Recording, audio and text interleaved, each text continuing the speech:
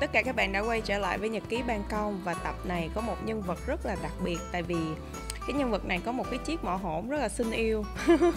Vậy là trong cái tập này sẽ có tới hai chiếc mỏ hổn, đó là anh Nicole. Xin chào à, Tú, xin chào tất cả các bạn khán giả của Nhật ký Ban Công thì thật ra mình có coi mấy tập trước rồi tập nào khách mời với tú cũng là đặc biệt hết trơn á. Thì đúng rồi trong ủa anh không nghe câu hả? Hàng vạn người tại sao chúng ta gặp nhau? Nó là duyên hay thì mới đặc nữa, biệt hay nữa. Đúng không? Với lại rõ ràng ở trên mạng xã hội người ta đâu thấy hai anh em mình tương tác nhiều đâu. Ừ đúng tức là người ta không người ta không nghĩ là mình biết nhau. Ừ nhưng mà tụi mình cũng khá là biết nhau. Cho nên là anh dẫn cái host giùm em cái tập này coi. Ok. Cái mỏ hổn đâu cái họ hổn duyên dáng nha. Không đây, đây ý là mình podcast mình phải ngồi nó nó nói chuyện nhỏ nhẹ chữa lành đúng không? Chữa lành mình thấy chuẩn bị mấy tiếng chưa? Có đâu này là đồ anh đi làm về bình thường anh ghé luôn trang wow. phục rất là đời thường của anh. Mọi người đây cũng đều biết là cái đây là những cái trang phục bình thường mà thường dữ chưa? Anh tưởng đâu là tại bữa anh coi tập của anh anh dương lâm anh thấy dương lâm mặc đồ đẹp quá nào là bông tai biết rồi rồi vô. Cái anh nghĩ trời qua đây chắc là phải qua nhà giàu nhà nghèo qua nhà giàu phải mặc đồ cho nó xứng đáng ngồi ngoài ban công mà sao biết giàu hay nghèo? Em ơi cái view này là view triệu đô. View triệu đô là góc khác rồi. Vậy hả? Thì đó anh coi cái tập đó anh thấy cái view nó khủng quá. Mình nhìn xuống đây là triệu đô nè. Thì đó. Khi mà em nhắn tin mà anh ngồi anh có có có hơi bất ngờ không? Ừ có. Tại vì um, cái vibe của mình nó, nó, nó không có giống nhau. Tại vì anh thấy đa số là cái gì nó uh, những cái gì em làm nó sẽ nhẹ nhẹ trong trong. Còn cái gì anh làm nó đều hơi trẻ trâu nó cục xúc hai cái màu nó hơi ờ, khác nhau. Xong rồi lúc mà em mời thì bởi anh sẽ anh nói là em em gửi anh câu hỏi á để anh anh sợ là em hỏi bất chợt cái xong anh sẽ trả lời nó hơi hơi cục xúc. Cho nên anh phải ờ, soạn câu hỏi để cho nó thanh tao nhẹ nhàng nhưng mà sao anh nhận lời? Thì cái sao đâu thì em mời thì anh nhận thôi gì đâu. Anh sai rồi câu hỏi đó lừa thôi. Còn hôm nay nhiều khi em không hỏi trong những câu đó. Em nghĩ là chúng ta cũng sẽ có một cái ờ, điểm chung nào đó ví dụ như cái mỏ hổn ừ. cái mẫu em cũng hổn ừ. em không cần quảng cáo không cần quảng cáo cái đó ai cũng biết thì em cũng hay kiểu cái gì mà ngày em em không không vừa lòng em cũng sẽ nói lại hoặc là em sẽ chia sẻ hoặc là em cũng uh, trình bày nhưng mà khi mà em quyết định mời anh uh, ngồi với em á bởi vì em thấy được rằng là đâu đó trong cái hành trình sự nghiệp của anh trong cái tính cách của anh uh, trong uh, trải nghiệm kinh nghiệm của anh thì sẽ giúp ích chia sẻ được rất là nhiều năng lượng đến với nhiều người trong đó có cả em. Em thấy được cái năng lượng gì? Em thấy là anh à, thẳng thắn là một. Anh không ngại à, đối mặt anh không ngại à, nói những cái gì mà anh cảm thấy là anh không thích. Thường thường người ta sẽ không có dám nói nhiều tại vì người ta sẽ sợ đám đông. Tại vì khi mà mình nói gì ngược với đám đông á là mình sẽ nhận những cái bình luận nó rất là trái chiều. Cái thứ hai á, là em cũng uh, biết sơ sơ về anh. Em không biết quá rõ nhưng em biết là anh đã từng là rapper nè từng theo đuổi con đường âm nhạc nè xong sau đó anh làm theo đuổi con đường phim ảnh nè. Rồi xong sau đó thì uh, em thấy anh livestream mà đặc biệt á, là anh có một cái cộng đồng fan về um, Nicole em chỉ biết là cộng đồng fan của Nicole và họ biết rất rõ về Nicole em thì biết sơ sơ ví dụ là em biết những cái như là uh, em ấn tượng nhất là một cái series nói về cương thi của anh. Và cái thứ hai là gần đây nhất là em coi uh, cái gì á? Bức tranh mà gì anh nói về ngựa mà anh đáo thành công ừ. phải không? Xong rồi có một con ngựa quay, quay đầu. đầu. Em hơi ấn tượng. Có nghĩa là hồi xưa giờ em không có để ý em biết bức tranh đó nhưng mà em không có để ý là ừ có bao nhiêu con ngựa và tại sao có con ngựa quay đầu và tại sao con ngựa đó lại quay đầu. Ừ. thì khi em coi em lướt em coi thì em thấy là ủa thường ngày gặp á thì cái mỏ cũng hổn. Nói câu nào là chặt câu đó rồi cũng hay kiểu nhiều khi đó nha nói hơi lất cất hơi la, hơi kiểu láo láo bất cần. Nhưng mà rõ ràng là anh cũng tìm ra được là tại sao những người yêu quý anh họ cũng tìm được những cái điểm mà họ rất là trân trọng ở anh và họ yêu quý anh và họ thần tượng anh.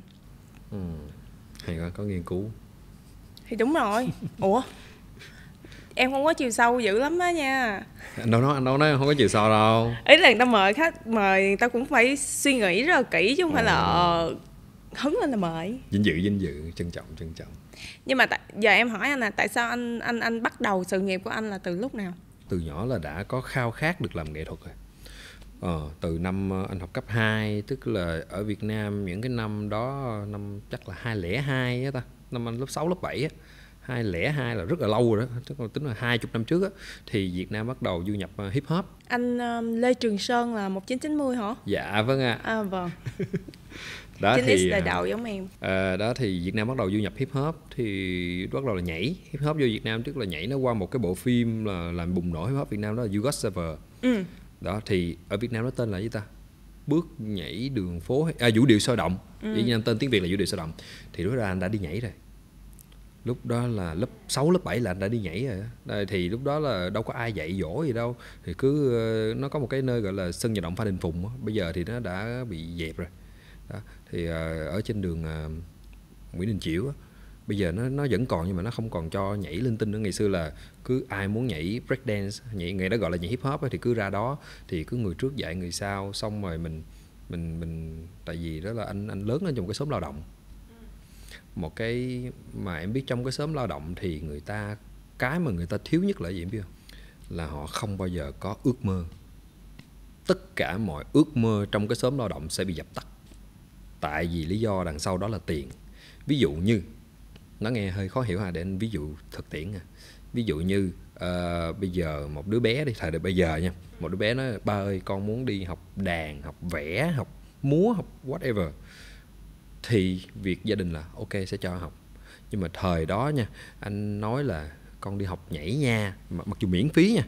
Thì mọi người đều nói là, học hành không lo học, nhà thì nghèo, lo học, để sau này ra còn có cái mà ăn, đi nhảy có ra tiền hay không? Đó, thậm chí ờ, xin đi đá banh cũng vậy, đá banh gãy tay gãy chân, lo học đi, để thành tức là mọi thứ họ đều quy về là học để đi làm, để có tiền. Còn tất cả mọi thứ thiên về năng khiếu thiên về sở thích là đều bị dẹp bỏ hết. Và những con người trong cái xóm lao động nó không ai có ước mơ hết. Họ chỉ mong muốn là ngày mai có tiền để đi chợ là hết. Mọi thứ to lớn, vĩ đại đều bị bỏ qua hết. Nhưng nhiều khi ước mơ của họ là, đó ngày mai đủ tiền để lo cho gia đình. Con cái được đi học đó ước mơ của họ rồi. Anh không thấy họ có ước mơ gì hết trơn. Anh anh anh không chỉ anh mà anh thấy những cái người những đứa trẻ xung quanh nó đều họ không có cái chuyện đó thì uh, đúng lúc đó anh phát hiện ra hip hop. Ừ. thì có một cái câu mà dân hip hop hay nói hip hop save my life. Chứ không phải hip hop never die à hip hop never die cũng đúng luôn.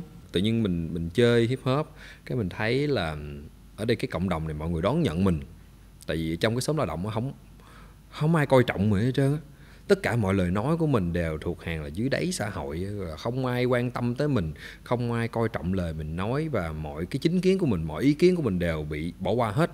Nhưng mà ở đây lại có một cái cộng đồng rất là nhiều người người giàu có, người nghèo có, nói chung tùm lum lá hết, trai có, gái có, lớn có, nhỏ có, và mọi người tôn trọng lẫn nhau. Mọi người chỉ đến với nhau vì vì âm nhạc, vì hip hop thôi đó là những năm đó là bắt đầu là anh thấy ồ bắt đầu mình thấy ồ cái thế giới này vui quá. Cái đùng một phát là có cái, cái anh đó ảnh ờ, có cái chương trình ngày xưa em nhớ thế giới vi pop à, thế giới vi pop đó. Cái anh mới nói là bây giờ có ai muốn đi nhảy không? Thì lương hai chục ngàn một đêm nhảy hai ba bài. Mà thời đó thì tổ hợp nó rất là dưỡng sinh. Nói chung là anh đứng làm nền thôi là anh sẽ có hai chục ngàn rồi. Thì đạp xe từ ờ, ở quận ờ, phú nhuận đạp xe về quận 6 cái cái quán đó là ba ba hai ngàn bây giờ chắc nó dẹp rồi đó thì đó hai chục ngàn xong là những năm đó mình biết ô oh, showbiz nó vui như vậy. Ừ. vui quá là ô được lên sân khấu rồi nhưng mà lúc đó nhảy cho ai có nhớ không? Nhảy chị Thị Lâm. Đó chị những năm đó là chị Thị Lâm mới chập chững đi hát. Chị Thị Lâm lúc đó cũng mới thôi à. đó cái uh, xong rồi mình đi nhảy một thời gian mình thấy rất là vui nhưng mà bù lại một việc là phải trốn học. Đó, mình phải bỏ học thì uh, mình cái tức là không có bị gia đình phát hiện anh đi nhảy cả năm trời mà gia đình không phát hiện luôn á. Nhưng mà cũng không ai cấm nhưng mà mình em hiểu là cái công việc đó nó không có chuyên nghiệp nó không được đào tạo bài bản và nó cũng không có tương lai nó chỉ vui ngay lúc đó thôi. Tại vì 20 ngàn thời điểm đó so với bây giờ cũng rất là nhiều nó chắc khoảng vài trăm ngàn bây giờ so với một đứa học sinh cấp 2 thì nó là nhiều. Nhưng mà nó không đem mình nhảy một thời gian mình sẽ thấy là mình chỉ đứng sau lưng và nó làm nền thôi. Thời đó dancer không có giá trị như bây giờ luôn. Dancer giống, nó giống như là diễn viên quần chúng vậy đó, không có giá trị, không có ai tôn trọng hết trơn và rất là mờ nhạt. Sau mình nhảy một thời gian hoài, cái mình cũng chán. Cái bắt đầu mình lớn lên, mình lên cấp 3 rồi thì cái tôi mình rất là cao. Thì mình bắt đầu đòi hỏi được công nhận hơn. Em biết mấy đứa cấp 3 thì bắt đầu nó nó hay gọi là thể hiện mình á. Muốn được công nhận hơn, muốn được quan trọng hơn, mặc dù thời điểm mình chả có gì hết. Thì ờ, cái mình bắt đầu là mình thấy mấy đứa mà đi nhảy chung á đó là nó nó đọc rap ừ. đó cái xong có một cái sự kiện đó chấn động trong giới dancer mà chấn động toàn Việt Nam luôn đó là cái game audition xuất hiện. À. Đó là cái cái game đó nó có thể đối với mọi người nha nó rất là bình thường nó chỉ là một trò chơi điện tử thôi nhưng mà đối với giới dancer nó rất là ấn tượng. Tại vì một cái game nào giờ thời điểm đó game nó chỉ có bắn súng chém lộn đánh nhau rồi nó thôi thì chỉ có một cái game về nhảy thì giới dancer rất là mê. Đó và tất cả mọi người đổ xô vô chơi cái game đó. Thì trong game đó bắt đầu có những bài nhạc rap có ừ. uh, Andre LK đó Andre LK rồi SD Việt đó đó là những người mà inspire cho thế hệ của tụi anh. Bắt đầu ai hát cái bài tiếng yêu thương với Andre nhỉ? Liên Bảy à, không bài đó có mình Young You Know. À. tiểu thuyết tình yêu là Lee Seven ừ. Andre với Isley thì những bài đó mặc dù là quality rất là thấp nhưng mà nó inspire cho cả một giới trẻ bắt đầu ồ tập... ôi nó là thanh xuân luôn á đúng rồi tập Của rap này nọ đó xong rồi bắt đầu mình bắt đầu dấn thân cho con đường rap thì em và từ từ thời điểm đó nha trở trở về sau này thì nó chuyển qua một giai đoạn là mình lớn lên mình ra trường rồi mình phải đi làm bắt đầu 16 17 tuổi học xong là, là 18 tuổi đúng không? Thì 16 tuổi là bắt đầu chơi nhạc rap rồi. Thì lúc đi học mình sẽ không quan tâm tới cơm áo gạo tiền. Mình vẫn cứ làm nhạc thôi. Tới năm 2018 là bắt đầu ra trường là bắt đầu có những gọi là tiếng tâm nhỏ nhỏ. 218 208 208 208 208 là có những tiếng tâm nhỏ nhỏ bắt đầu là có rất là nhiều người biết mình nhưng mà ừ. không ai biết mặt mình hết trơn á. Người ta chỉ biết tiếng mình thôi ngày à, thời đó có cái cái yahoo đó là người ta với lại anh hoạt động thường thường là hoạt động trong một cái uh, room. một cái forum. Một cái forum. đó và forum đó dụ tổ chức offline thì sẽ có fan tới. Một cái nick của anh hồi xưa là gì vậy? Vẫn là Nico thôi. Hồi xưa em cũng ở trong đó nè. Vẫn là Nico thôi. Đó xong cái bắt đầu là mình phải đi làm. Mình ra đời mình đi làm. Bình thường thôi cũng làm văn phòng cũng làm lum tum lên tan thôi. Làm văn phòng thì uh, có một cái sự kiện đó là vào năm 2010 2010 thì anh có một cái bài hit tên là XL2010 thì uh, cái bài đó rất là hot. Bài rất rất rất là hot. Nói chung là đi khắp nơi mọi người đều biết. Ngồi tiệm net nào người ta cũng mở hết. Đi bia cà phê nó mở khắp nơi luôn. Có một lần là mình ngồi ngay đó. Mình đang chơi game như bao nhiêu người là nguyên một tiệm net, nó hát về đó bum bum bum mà mình ngồi đó không ai biết mình hết trơn á. Mình ngồi đó cái, trời ơi, sao không ai quan tâm mình hết? Không ai để ý tới mình hết. Và mình đi về giống như là một người bình thường vậy. Trong khi đó bài hát của mình và quan trọng là mình không thu một ngàn đồng nào được từ cái sự kiện đó. Nếu mà cái sự kiện đó mà bây giờ là mình đã thành, gọi là, cặp tiền tỷ trong tay, đúng không? Đó, giờ mình cảm thấy rất là chạnh lòng. Thì lúc đó anh gặp được một người và lúc đó anh à, anh đi làm một công ty bình thường thôi ờ, cái anh gặp được một người đó là anh AT 117 ừ, ừ. Anh đó bây giờ là chủ của kênh ờ, mì gõ. Thì cái anh đó là cách đây vài năm ảnh là ông trùm ngành MV Việt Nam. Hầu như tất phải 80% ngôi sao Việt Nam là quay MV bên đó. Ờ, ảnh những bài đầu tiên của Trịnh Thăng Bình rồi này nọ là bên quay bên đó đó là ai media ngày xưa. Thì ảnh mới lúc ảnh cũng chưa có cái ai media luôn thì anh em biết nhau từ lâu rồi. Cái ảnh tự nhiên ảnh ảnh nói một câu xanh rờn ảnh nói là bây giờ mày rap hoài, không ai biết mày là ai đâu. Bây giờ mày làm mv đi. Cái, ủa? Mà em hiểu là những năm mà 2010 mà cái nghe chữ làm MV là nghe nó giống như công nghệ vũ trụ vậy không hiểu gì mình, không có hiểu gì cái nó biết đâu làm. Cảm nó quả là tao chỉ mày làm. Mà ổng không vì một lý do gì hết. Tự nhiên sáng nha. Ông chỉ kêu ông chỉ rồi cái ông chỉ mình làm. Cái bắt đầu mình làm, mình cũng mày mò. Thì xong rồi à, mình cũng có, gọi là, học thầy cũng được như đó. Thì cũng có ghém đi ra đời, xong cũng không biết làm gì hết cái anh có một người quen là nhạc sĩ bảo thạch. Anh mới nói là thạch bây giờ tôi muốn kiếm ca sĩ để tôi làm mv quá tại vì tôi muốn phải học rồi phải có chỗ thực hành. À làm mv giống như là dựng mv á hả? Đúng rồi là quay xong rồi dựng à, luôn. à vậy mà nãy giờ em tưởng là cái anh anh kêu anh là giờ muốn nói là sẽ phải quay mv cái bài hát đó. À đúng rồi thì đó đúng rồi ảnh ảnh cái ý anh đúng cái ý anh cũng đúng nhưng mà mình không có tiền để mình làm cho nên là phải ý là muốn quay mv là tự học để làm luôn. Tại vì không có tiền để thuê người thời đó là thời đó nếu mà thuê là sẽ có mấy người như là anh chuyển chiêu rồi nọ anh chuyển chiêu là làm chọn đời bên em lý hải hồi yeah. xưa. Khi mình mới ok uh, có cái cái kỹ năng đó xong mình liên lạc bảo thạch. Cái bảo thạch mới uh, nói là tôi thì không có quen nhiều ca sĩ nhưng mà có một người quen rất là nhiều ca sĩ trẻ có thể gọi là đem ra làm chuột bạch cho mình. Đó là nguyễn đình vũ. Ừ. à cái xong nguyễn đình vũ nó mới giới thiệu rất là nhiều. Ý là vũ nó kiểu mình không biết là một động cơ nào lý do nào nhưng mà mới quen vũ là đã rất là hết mình với mình đã vũ giới thiệu rất là nhiều ca sĩ đem gọi ca sĩ trẻ nữa. Ok có thằng bạn làm mv cũng ok lắm giá rẻ lắm. Cứ qua đây giới thiệu rất nhiều ca sĩ thì đó là những bước đầu tiên mình vô nghề. Ừ. đó là mình bắt đầu mình từ từ từ từ từ lên. Thì cũng chả học hành ngày nào hết trơn.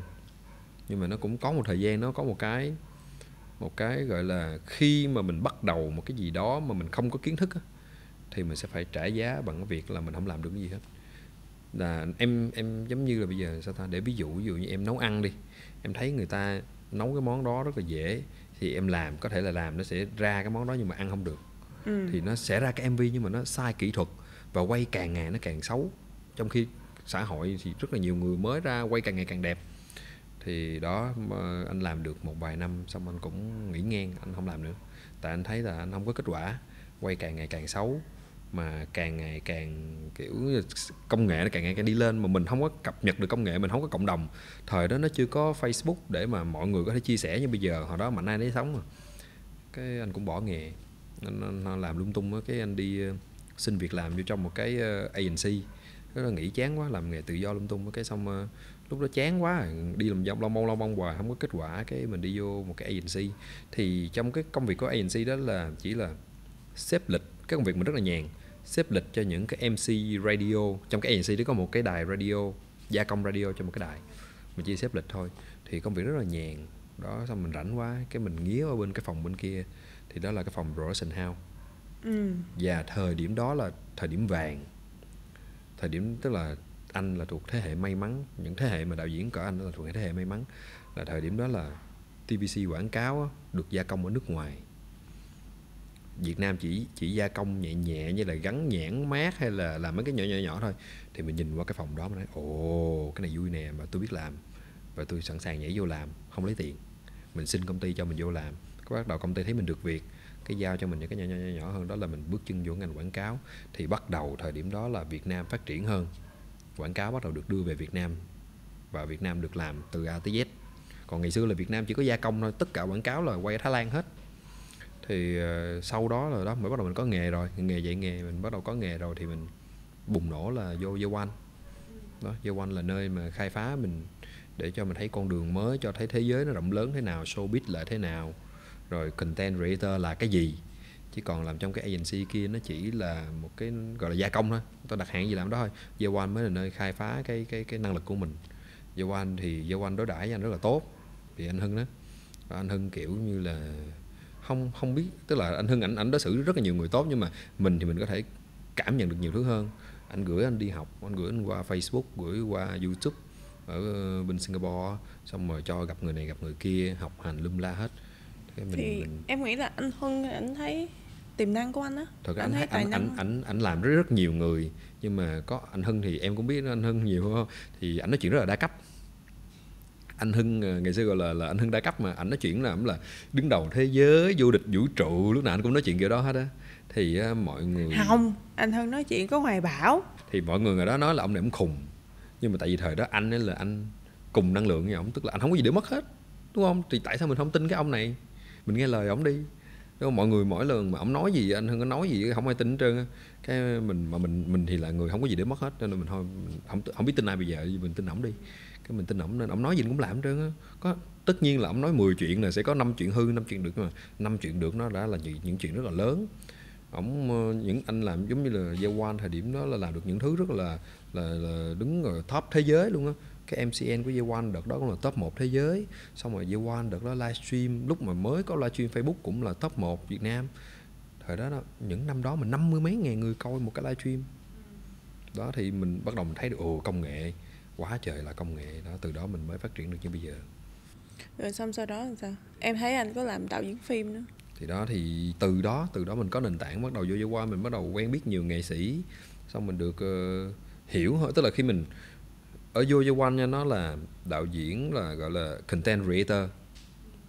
Content creator thì mình ở Yo One một thời gian đủ lâu thì mình biết là mình cần phải làm con đường riêng.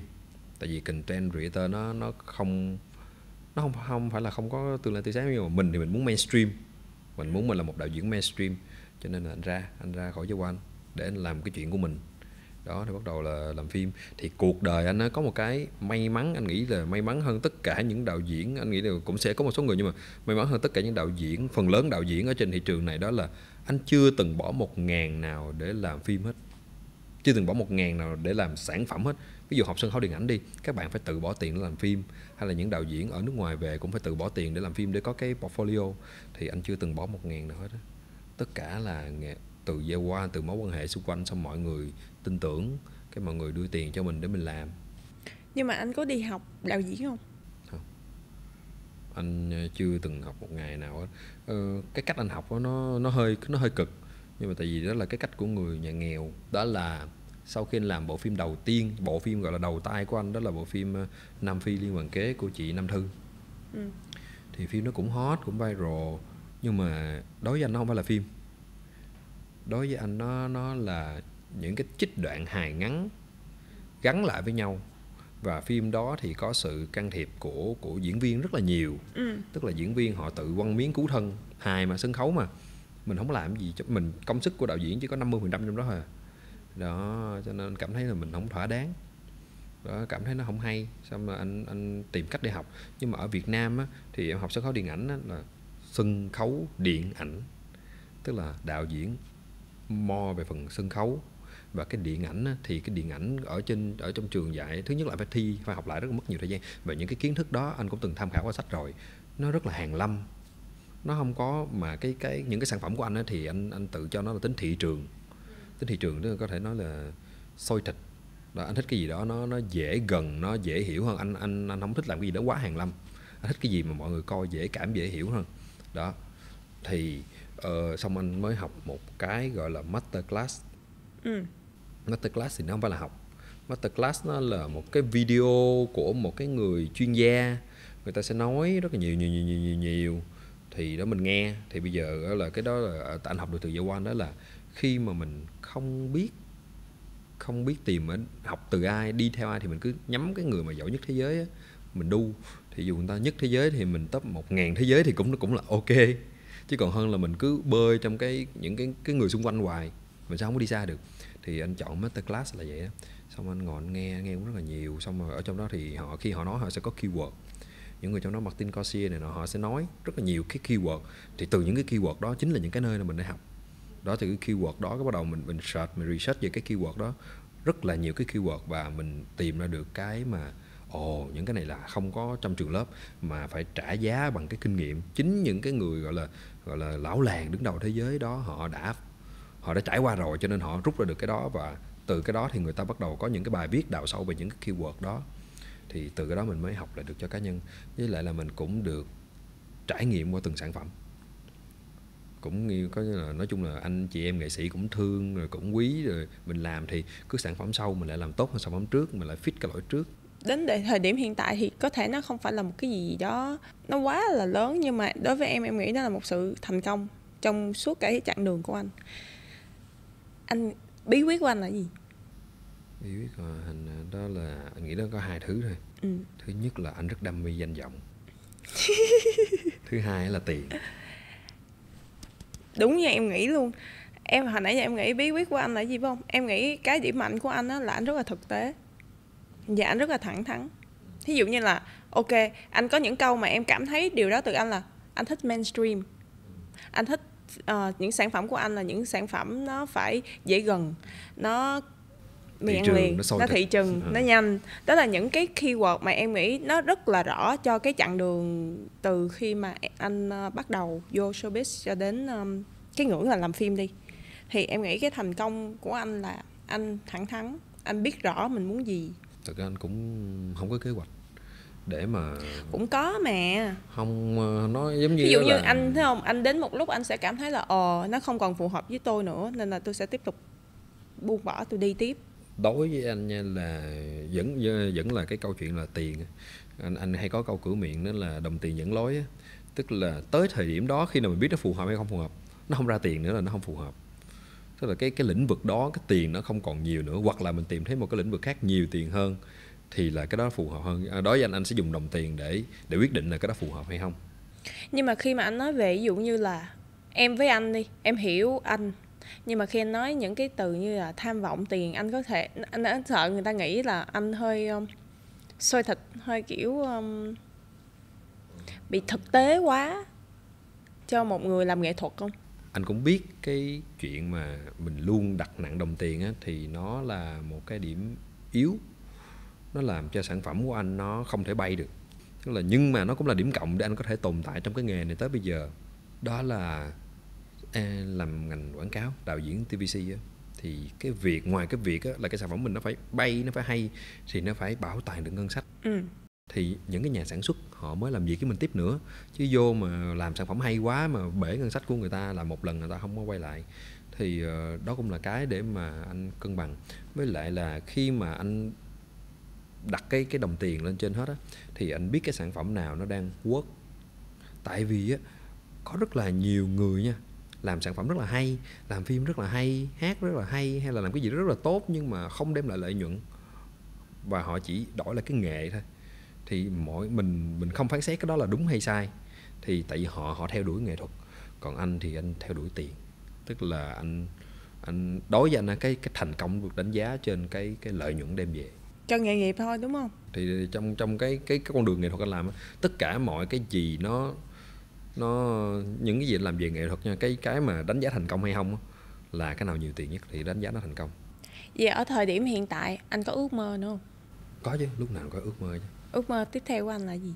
Ước mơ tiếp theo của anh nữa là anh muốn một cái người kiểu entertainer giống như là anh ngô kiến quy hay là anh dương lâm hay là anh trấn thành vậy tức là mình có thể làm được rất là nhiều thứ mình sẽ là một gương mặt giải trí whatever tại vì anh có còn rất là nhiều giấc mơ mà ở tuổi trẻ anh chưa có làm được, tại vì kinh tế.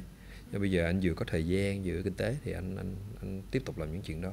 Nhưng mà khi anh làm đạo diễn phim á, anh có bao giờ ước mơ là một ngày nào đó anh sẽ làm một bộ phim điện ảnh hoành tráng theo đúng ý anh? Mọi thứ theo ý anh từ câu chuyện cách quay một cái bộ phim gọi là, như mọi người bây giờ đi, là nhiều tiền, hàng tỷ đồng 10 tỷ 20 tỷ kiểu đó. Anh có bao giờ có ước mơ đó không? Nếu mà cách đây à, uh, 5 năm thì anh có cái ước mơ năm bảy năm trước thì anh có ước mơ đó. Nhưng mà sau khi gia nhập cái thị trường điện ảnh vài lần thì anh ước mơ đó nó tan tành rồi. Tức là cái cái câu chuyện đó nó nó không quốc ở Việt Nam đối với anh đối với anh. Còn đối với những người mà có nhiều tiền thì câu chuyện đó họ sẽ work ví dụ như là anh anh Trấn Thành anh Lý Hải hay là những cái anh đạo diễn lớn thì họ có ngân sách và họ có tiềm lực và nói chung là họ có đủ mọi thứ để làm được chuyện đó. Nhưng mà với với anh thì anh có nhiều cái gọi là cái vết không tốt về cái con đường điện ảnh. Ừ. Ừ, ví dụ anh làm web drama đi thì mọi người để cho anh làm hết. Mọi người gọi là lắng nghe ý kiến của anh gọi là anh có thể tung hoành 80% cái 20% còn lại chỉ là ngân sách thôi và thời gian thôi. Còn lại 80% là được theo ý mình. Nhưng mà khi anh làm điện ảnh anh đã từng hợp tác với rất là nhiều bên. Thậm chí có những bên gần đây nhất thôi cách đây một vài tháng thôi, là có những bên là anh đã cầm tiền luôn rồi mà dự án tới cuối cùng phải cancel. Tại vì cái con cái cuộc chơi điện ảnh đó, nó quá lớn đối với tất cả mọi người. Nó không phải là câu chuyện là 1 tỷ 2 tỷ nữa mà câu chuyện là triệu đô. Tại vì một phim điện ảnh 15 20 tỷ nó là chuyện rất là bình thường. Thì người ta không có không có nhất quán người ta không có nhất quán. Còn những người nhất quán thì họ sẽ làm những đạo diễn lớn. Những người gọi là nhắm mắt đưa tiền thì họ sẽ làm những đạo diễn lớn. Còn những những người nha, nó nó bị ở thế kẹt. Một là anh tự bỏ tiền làm. Chắc chắn là anh không làm chuyện đó rồi. Còn khi anh nghe nhà đầu tư thì nhà đầu tư họ sẽ không nhất quán. Hôm nay họ họ muốn như vậy, cái ngày mai thì sẽ có những yếu tố khách quan, chủ quan để họ muốn cái khác. Và khi họ muốn muốn muốn muốn muốn và không có ai đúng không ai sai nha, thì cái cái cái cái cái sự mong muốn của anh cái sự hào hứng của anh nó bị nó bị nguội dần rồi. Và khi mà cầm một số tiền quá lớn của người ta mà cái cái niềm tin của mình vô cái đó nó không còn nữa thì mình không muốn làm nữa. Vậy hồi xưa là có ước mơ về cái đó. Ừ, nhưng mà khi mà anh nhưng mà thấy tới, là tới thời điểm bây giờ là anh không anh không có hứng thú với điện ảnh. Vậy có gọi là ước mơ không? Ngày xưa anh muốn ngày xưa anh à, tại vì thường em thấy là ước mơ là mình khi mình ước mơ là mình sẽ cố gắng rất là nhiều để đạt được cái ước mơ đó còn anh em thấy giống như là nó là mục tiêu của anh xong mà anh cảm thấy ok nó không phù hợp nữa thì anh sẽ chuyển. Những người á, mà họ không được làm điện ảnh á, thì họ không được làm phim luôn. Hiểu không? ý là họ họ phải làm cái khác họ phải làm hoặc là họ không không không có tiền để làm phim thì họ phải làm nghề khác hoặc là họ làm mv họ làm gì. Còn anh á, anh không được làm điện ảnh. Thì những cái mà anh thích á, thì anh đã quay web drama rồi đó ví dụ như anh anh, rất thích cương thi cái anh anh đợt đó khánh tìm đến anh thì anh làm phim cương thi với khánh. Đó cái sau này anh thích những câu chuyện là kiểu ờ, drama đời sống này nọ mẹ chồng ờ, nàng dâu đó thì lại làm với với ngọc thanh tâm. Đó vậy. Thì anh đã được làm rồi nên là nó cũng thỏa mãn. Chứ còn cái thời điểm cái thời điểm đó khi mà mình vẽ rất là nhiều mà big dream mình mình được làm này làm kia cái xong mình không được làm cái bắt đầu mình nguội dần cái đam mê nguội nguội, nguội dần nó cũng nó cũng ấm ức lắm. Tức là những cái đó mình không được làm nhưng cuối cùng thì mình cũng có quét drama để mình vùng vẫy rồi bây giờ ước mơ của anh gọi ước mơ hả ta? Mục tiêu đi. Nếu mà gọi là mong muốn mà sung sướng nhất á, thì anh anh nghĩ là cái ước mơ của anh nó sẽ không bao giờ work ở Việt Nam á. Giống như mọi người có thể thấy là thị trường Việt Nam họ sẽ không có chuộng cái kiểu uh, những cái phim mà hắc não. Đúng không? họ họ họ không thích họ tại vì nếu coi phim hát não thì mình phải có ngân sách rất là lớn. Nó phải là kiểu như là uh, là, là, là, là phim Hàn hay là phim Mỹ đâu Việt Nam mình thì một cái cái phim mà làm quá nhiều ngân sách thì nó quá nhiều tiền nó sẽ không có cơ hội hồi vốn. Cho nên là cái mà anh mong muốn thì anh biết là Việt Nam không làm. Ai biết được nhiều khi 10 năm nữa Việt Nam cái cái ngân sách điện ảnh nó sẽ tăng lên. Nhưng mà trong thời gian gần thì anh nghĩ là không có. Tại vì đó là anh muốn quay một bộ phim về về lừa đảo về hắc não. Ừ. anh rất là thích những bộ phim lừa đảo rất là thích luôn gần như là tất cả những phim lừa đảo trên thị trường này anh đều coi và coi rất là nhiều. Đó nhưng mà cái phim cái phim phi những cái phim mà phi vụ mà lừa đảo mà đấu trí nhau thì Việt Nam lại không không work. Ước mơ của anh tiếp theo là làm trở thành gương mặt giải trí mới. Em thấy ok không? Mà tại sao? Tại vì à, ngày xưa đi lúc mà làm rapper mình là em tên từ đây cái máy quay đúng không? Có phải tại vì anh thích nổi tiếng không? Chắc chắn. Ừ. chắc chắn ai cũng thích nổi tiếng hết anh giống như là ngày xưa nha cái thời cái thời đó um, rapper hay nói là nhưng mày- mà hiện tại anh nổi tiếng rồi mà. Ý là anh cũng có một cộng đồng fan. Nhưng mà anh bị cái là anh anh muốn cho người ta biết là anh có nhiều thứ hơn nữa. Ờ, anh có nhiều thứ hơn nữa chứ không phải là ngồi trước một cái màn hình livestream. Ai cũng có tham vọng mà. Đâu ai cũng có tham vọng chứ đâu ai muốn mình đứng yên một chỗ đâu. Anh, anh muốn người ta biết là ừ anh có thể làm rất là nhiều thứ whatever mà mọi người chưa thấy. Nhưng mà những thứ đó nó cần phải có nơi để thể hiện. Ừ. đó chứ không phải là ngồi trước cái màn hình livestream ngồi nó nó nó nó nói. Như đó thì quanh năm suốt tháng nó sẽ tới vậy thôi. Mình muốn cho người ta thấy mình mình giải trí trên tất cả mọi phương diện.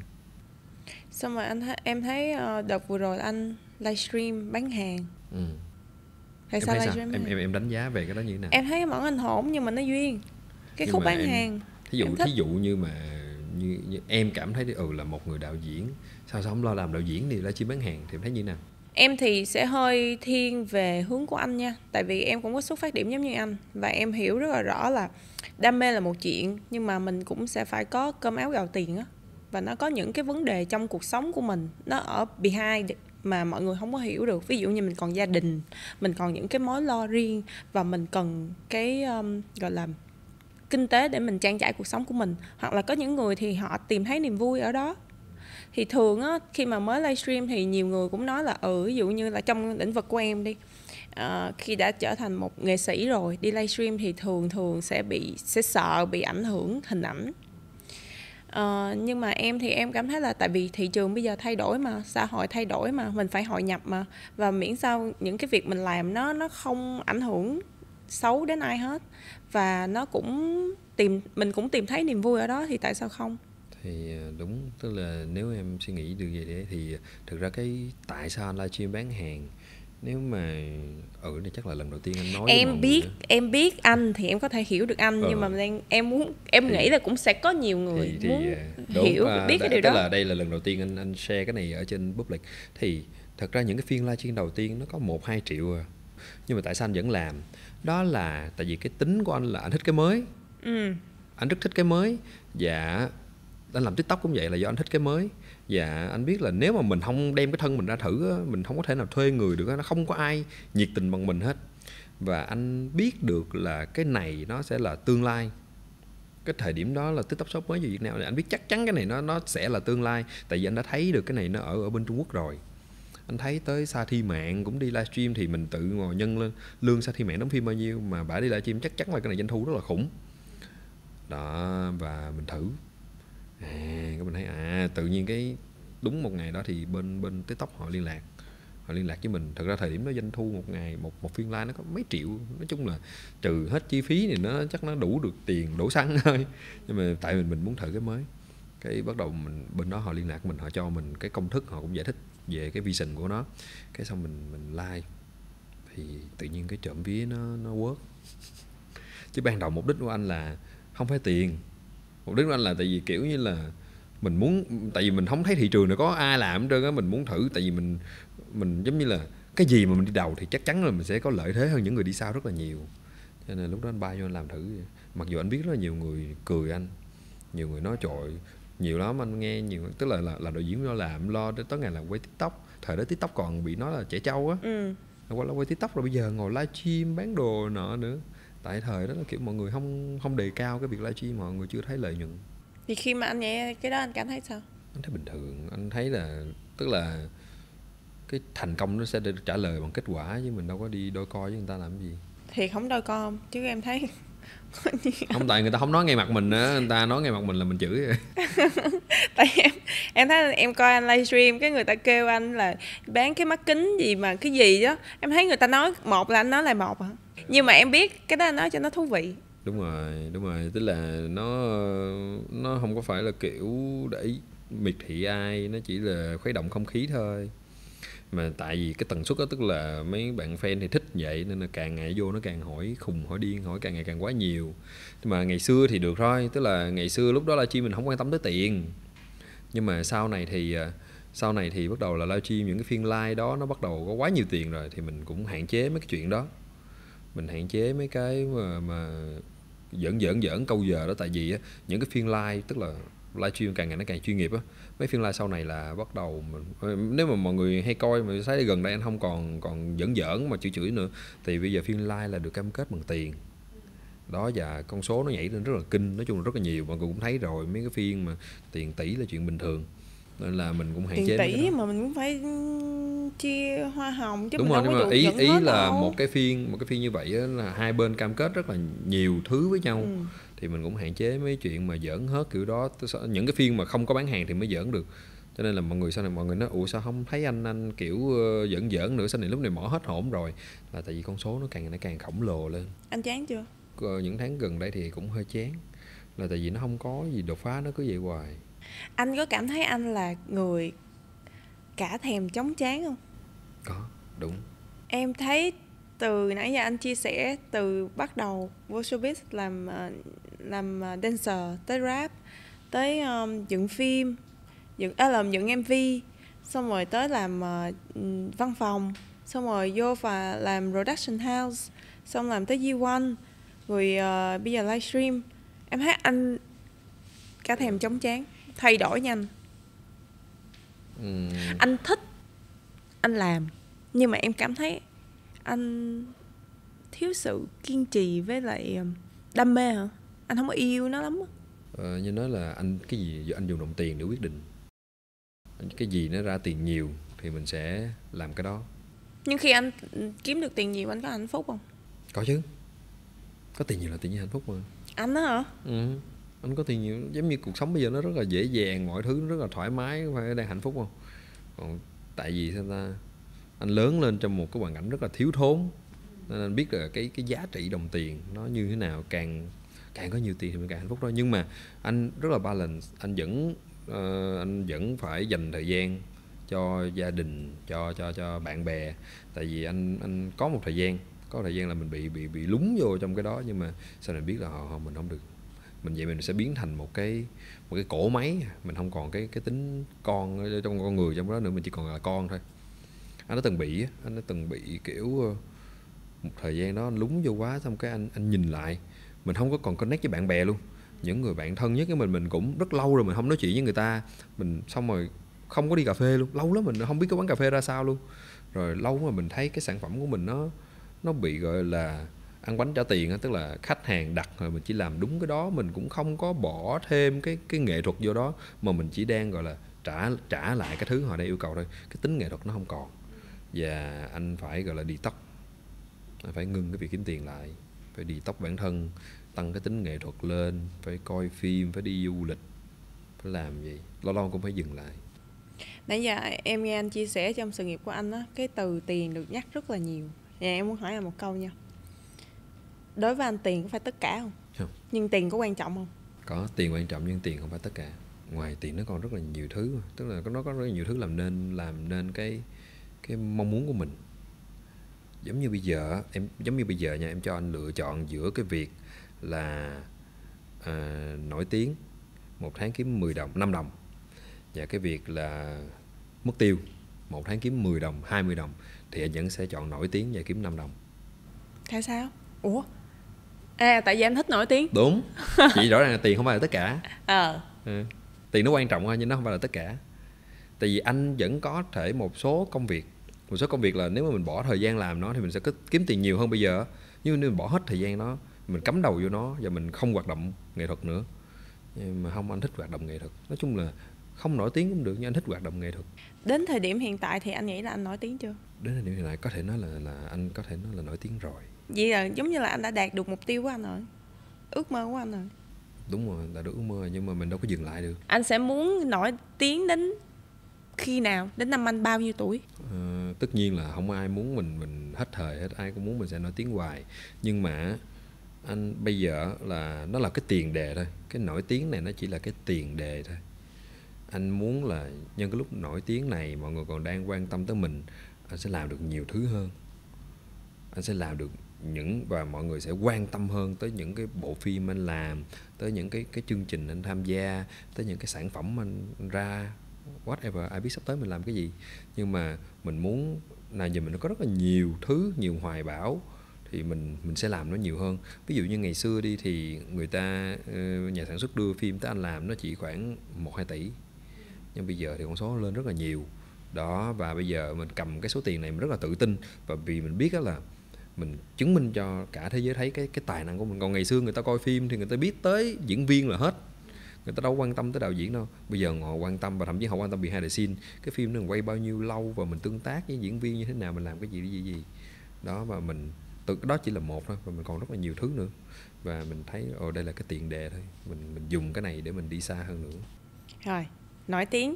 Tiền, gia đình và sức khỏe. Nếu chỉ được lựa chọn một trong bốn cái đó, anh sẽ chọn gì? Nổi nổi tiếng tiền gia đình sức khỏe ha. Tất nhiên anh chọn tiền rồi hả? Anh chọn tiền. Tại sao?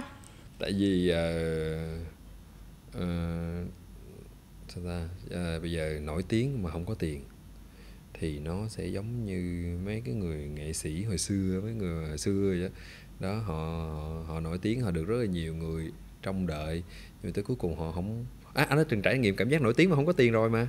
Ừ. Đó những năm mà chơi rap đúng không? Nổi tiếng có nhiều fan nhưng mà đâu có tiền không có gì hết. Và mình ra đường vẫn đi một chiếc xe quay ghẻ một đôi giày mang 365 ngày. Nó rất là chán nó rất là khổ. Cho nên là anh không thích nổi tiếng mà không có tiền. Còn uh, gia đình và sức khỏe hả? Nếu như anh có tức là anh đã từng có tất cả có sức khỏe có gia đình nhưng mà không có tiền thì nó khổ. Anh nói chung là ngày xưa là uh, không có tiền á nó tức là cái, tại vì cái tuổi thơ của anh nó, nó kinh khủng quá là nó đem lại cái cái việc thiếu tiền nó nó hằn sâu trong cái tiềm thức của mình rồi. nó đem lại rất là nhiều cái nặng nề. Nào là uh, không có không có được thoải mái về bản thân không được thoải mái về tư tưởng rồi uh, không có được tôn trọng cái cái cái nặng nề nhất mà là mình thấy là không được tôn trọng. Mình mình không có tiền mình không ai coi mình ra gì á. Nếu là em ở quan điểm của em thì em nếu mà em phải lựa chọn bốn cái đó em sẽ lựa chọn sức khỏe. Um, em hiểu rất là rõ trong cái um, tại sao anh nghĩ vậy. Tại vì em cũng có xuất thân giống như anh. Em cũng có xuất thân lao động. Ờ, ở khu lao động em cũng đối với em ngày xưa tiền nó cũng rất là quan trọng. Ờm, lúc nào cũng là tiền tiền tiền. Ước mơ của em cũng là tiền. Ước mơ ngày xưa bé của em nhỏ đơn giản lắm. Em chỉ cần có đủ ba bữa ăn đó là ước mơ của em rồi. Lớn lên chút xíu ước mơ của em phải là tiền. Tại vì có tiền thì em mới có thể được người ta tôn trọng, được làm những điều mình yêu thích, được lo cho gia đình của mình. Nhưng mà có thể là trong cái sự phát triển của em thì em gặp rất là nhiều những cái vấn đề, những cái thử thách trong cuộc sống của em. Giúp cho em hiểu ra tiền quan trọng, có tiền, nó là một cái gì đó rất là may mắn để phục vụ cho cái cuộc sống của mình. Nhưng mà tiền tiền mua được nhiều thứ nhưng không mua được tất cả mọi thứ giống như là khi ba em bệnh em có tiền.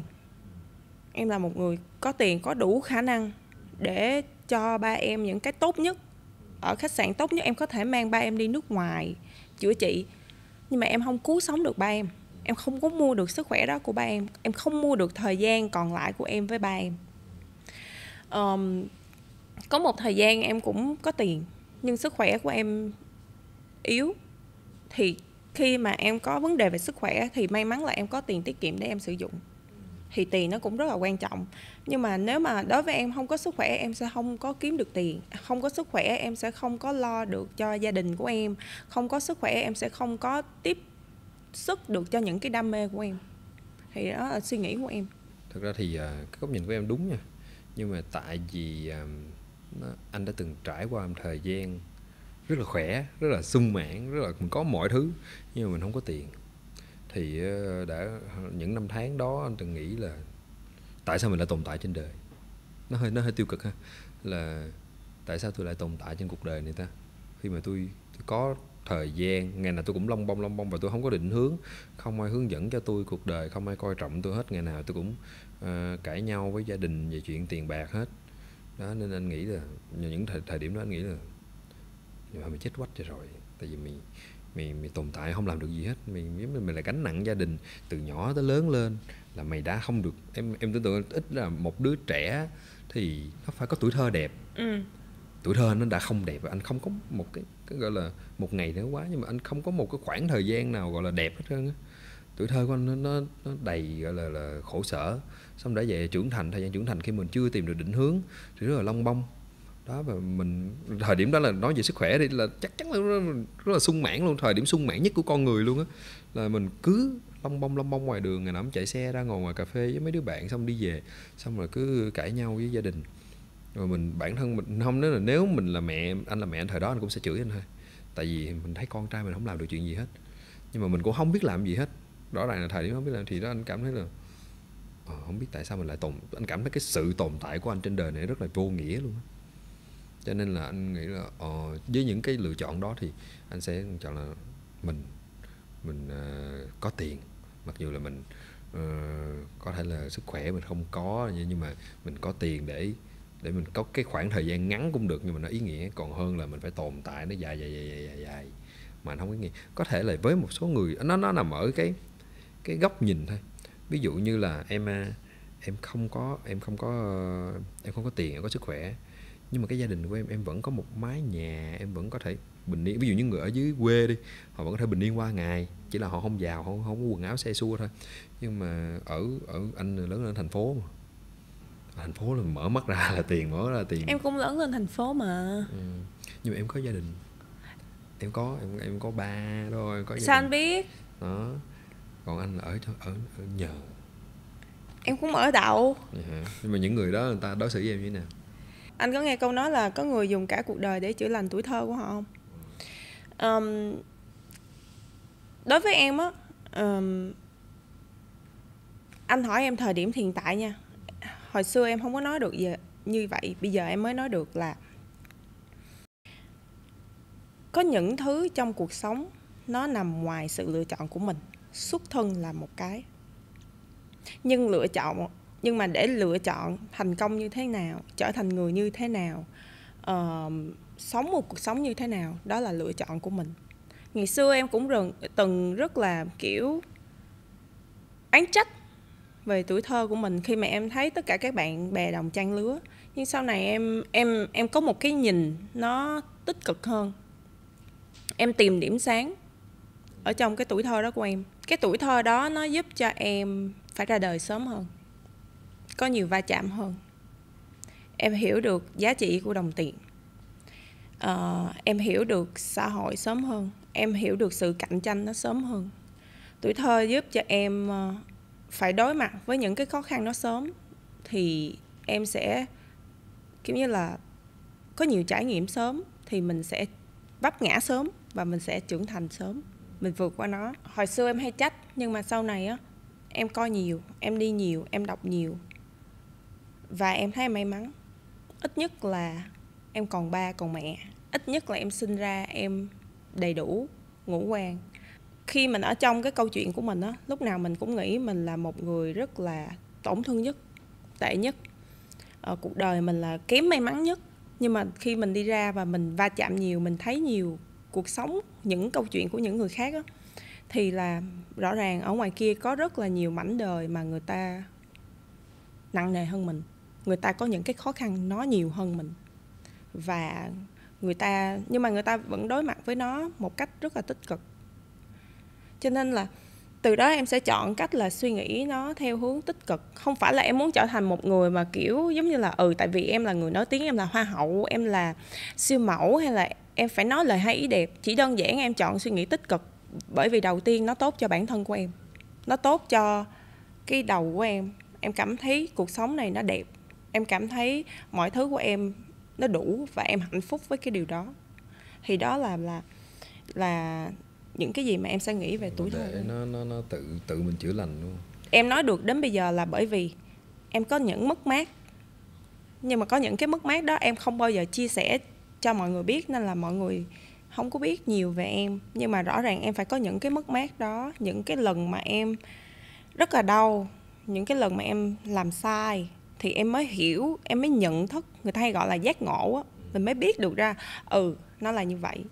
Nói nói về à, những cái mất mát đó thì anh tự cảm thấy nha cuộc đời của anh nó giống như là ông trời ổng ổng cho một cái tuổi thơ cơ cực á. Ừ. thì từ những cái năm sau này á là một chuỗi dài may mắn. Ồ thì cũng đúng.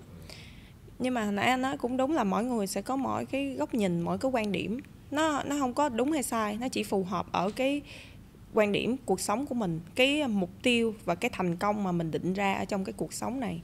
Nãy em nói à, anh thấy có một cái à, em giống anh đó là uh, bây giờ ngồi kể lại chuyện hồi xưa thì kể vậy thôi chứ thực ra là đôi khi mình sẽ cảm ơn những cái cái năm tháng đó.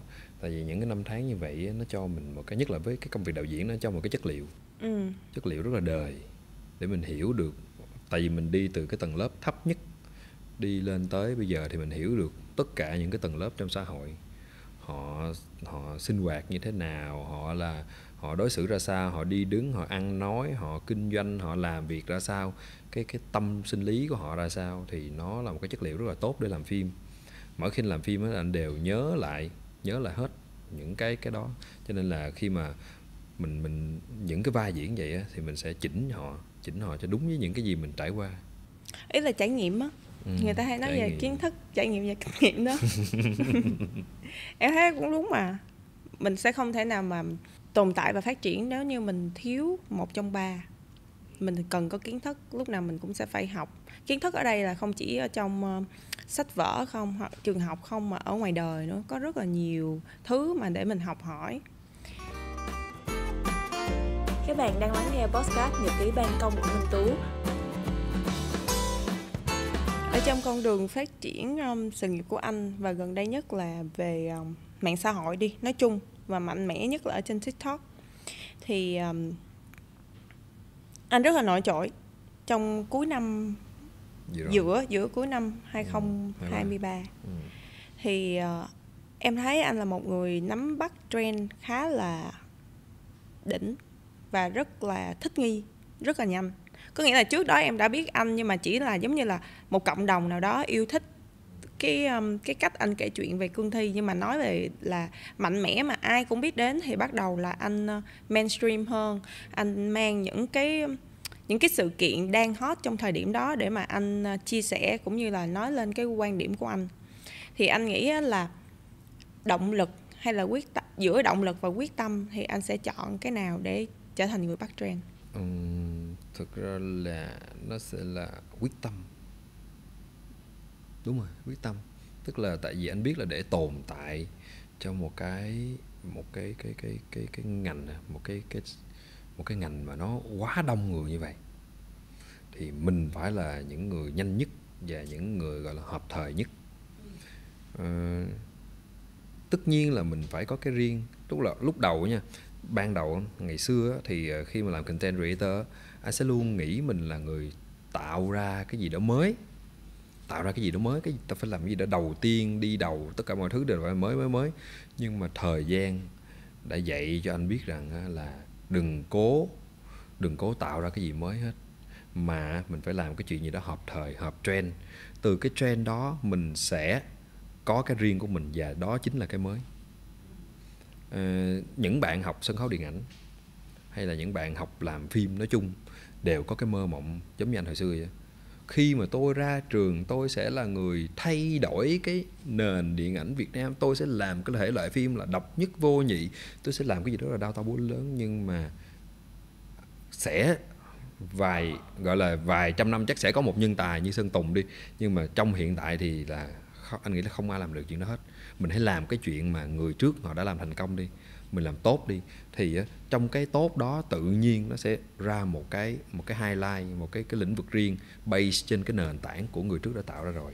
Cho nên là cái cái cái động lực của anh cái quyết tâm của anh lúc nào cũng phải là bắt trend hết. Làm cái gì nó đang hợp thời nhất mình sẽ không cố tạo ra cái gì mới hết. Cái gì nó trend thì mình sẽ làm được cái đó.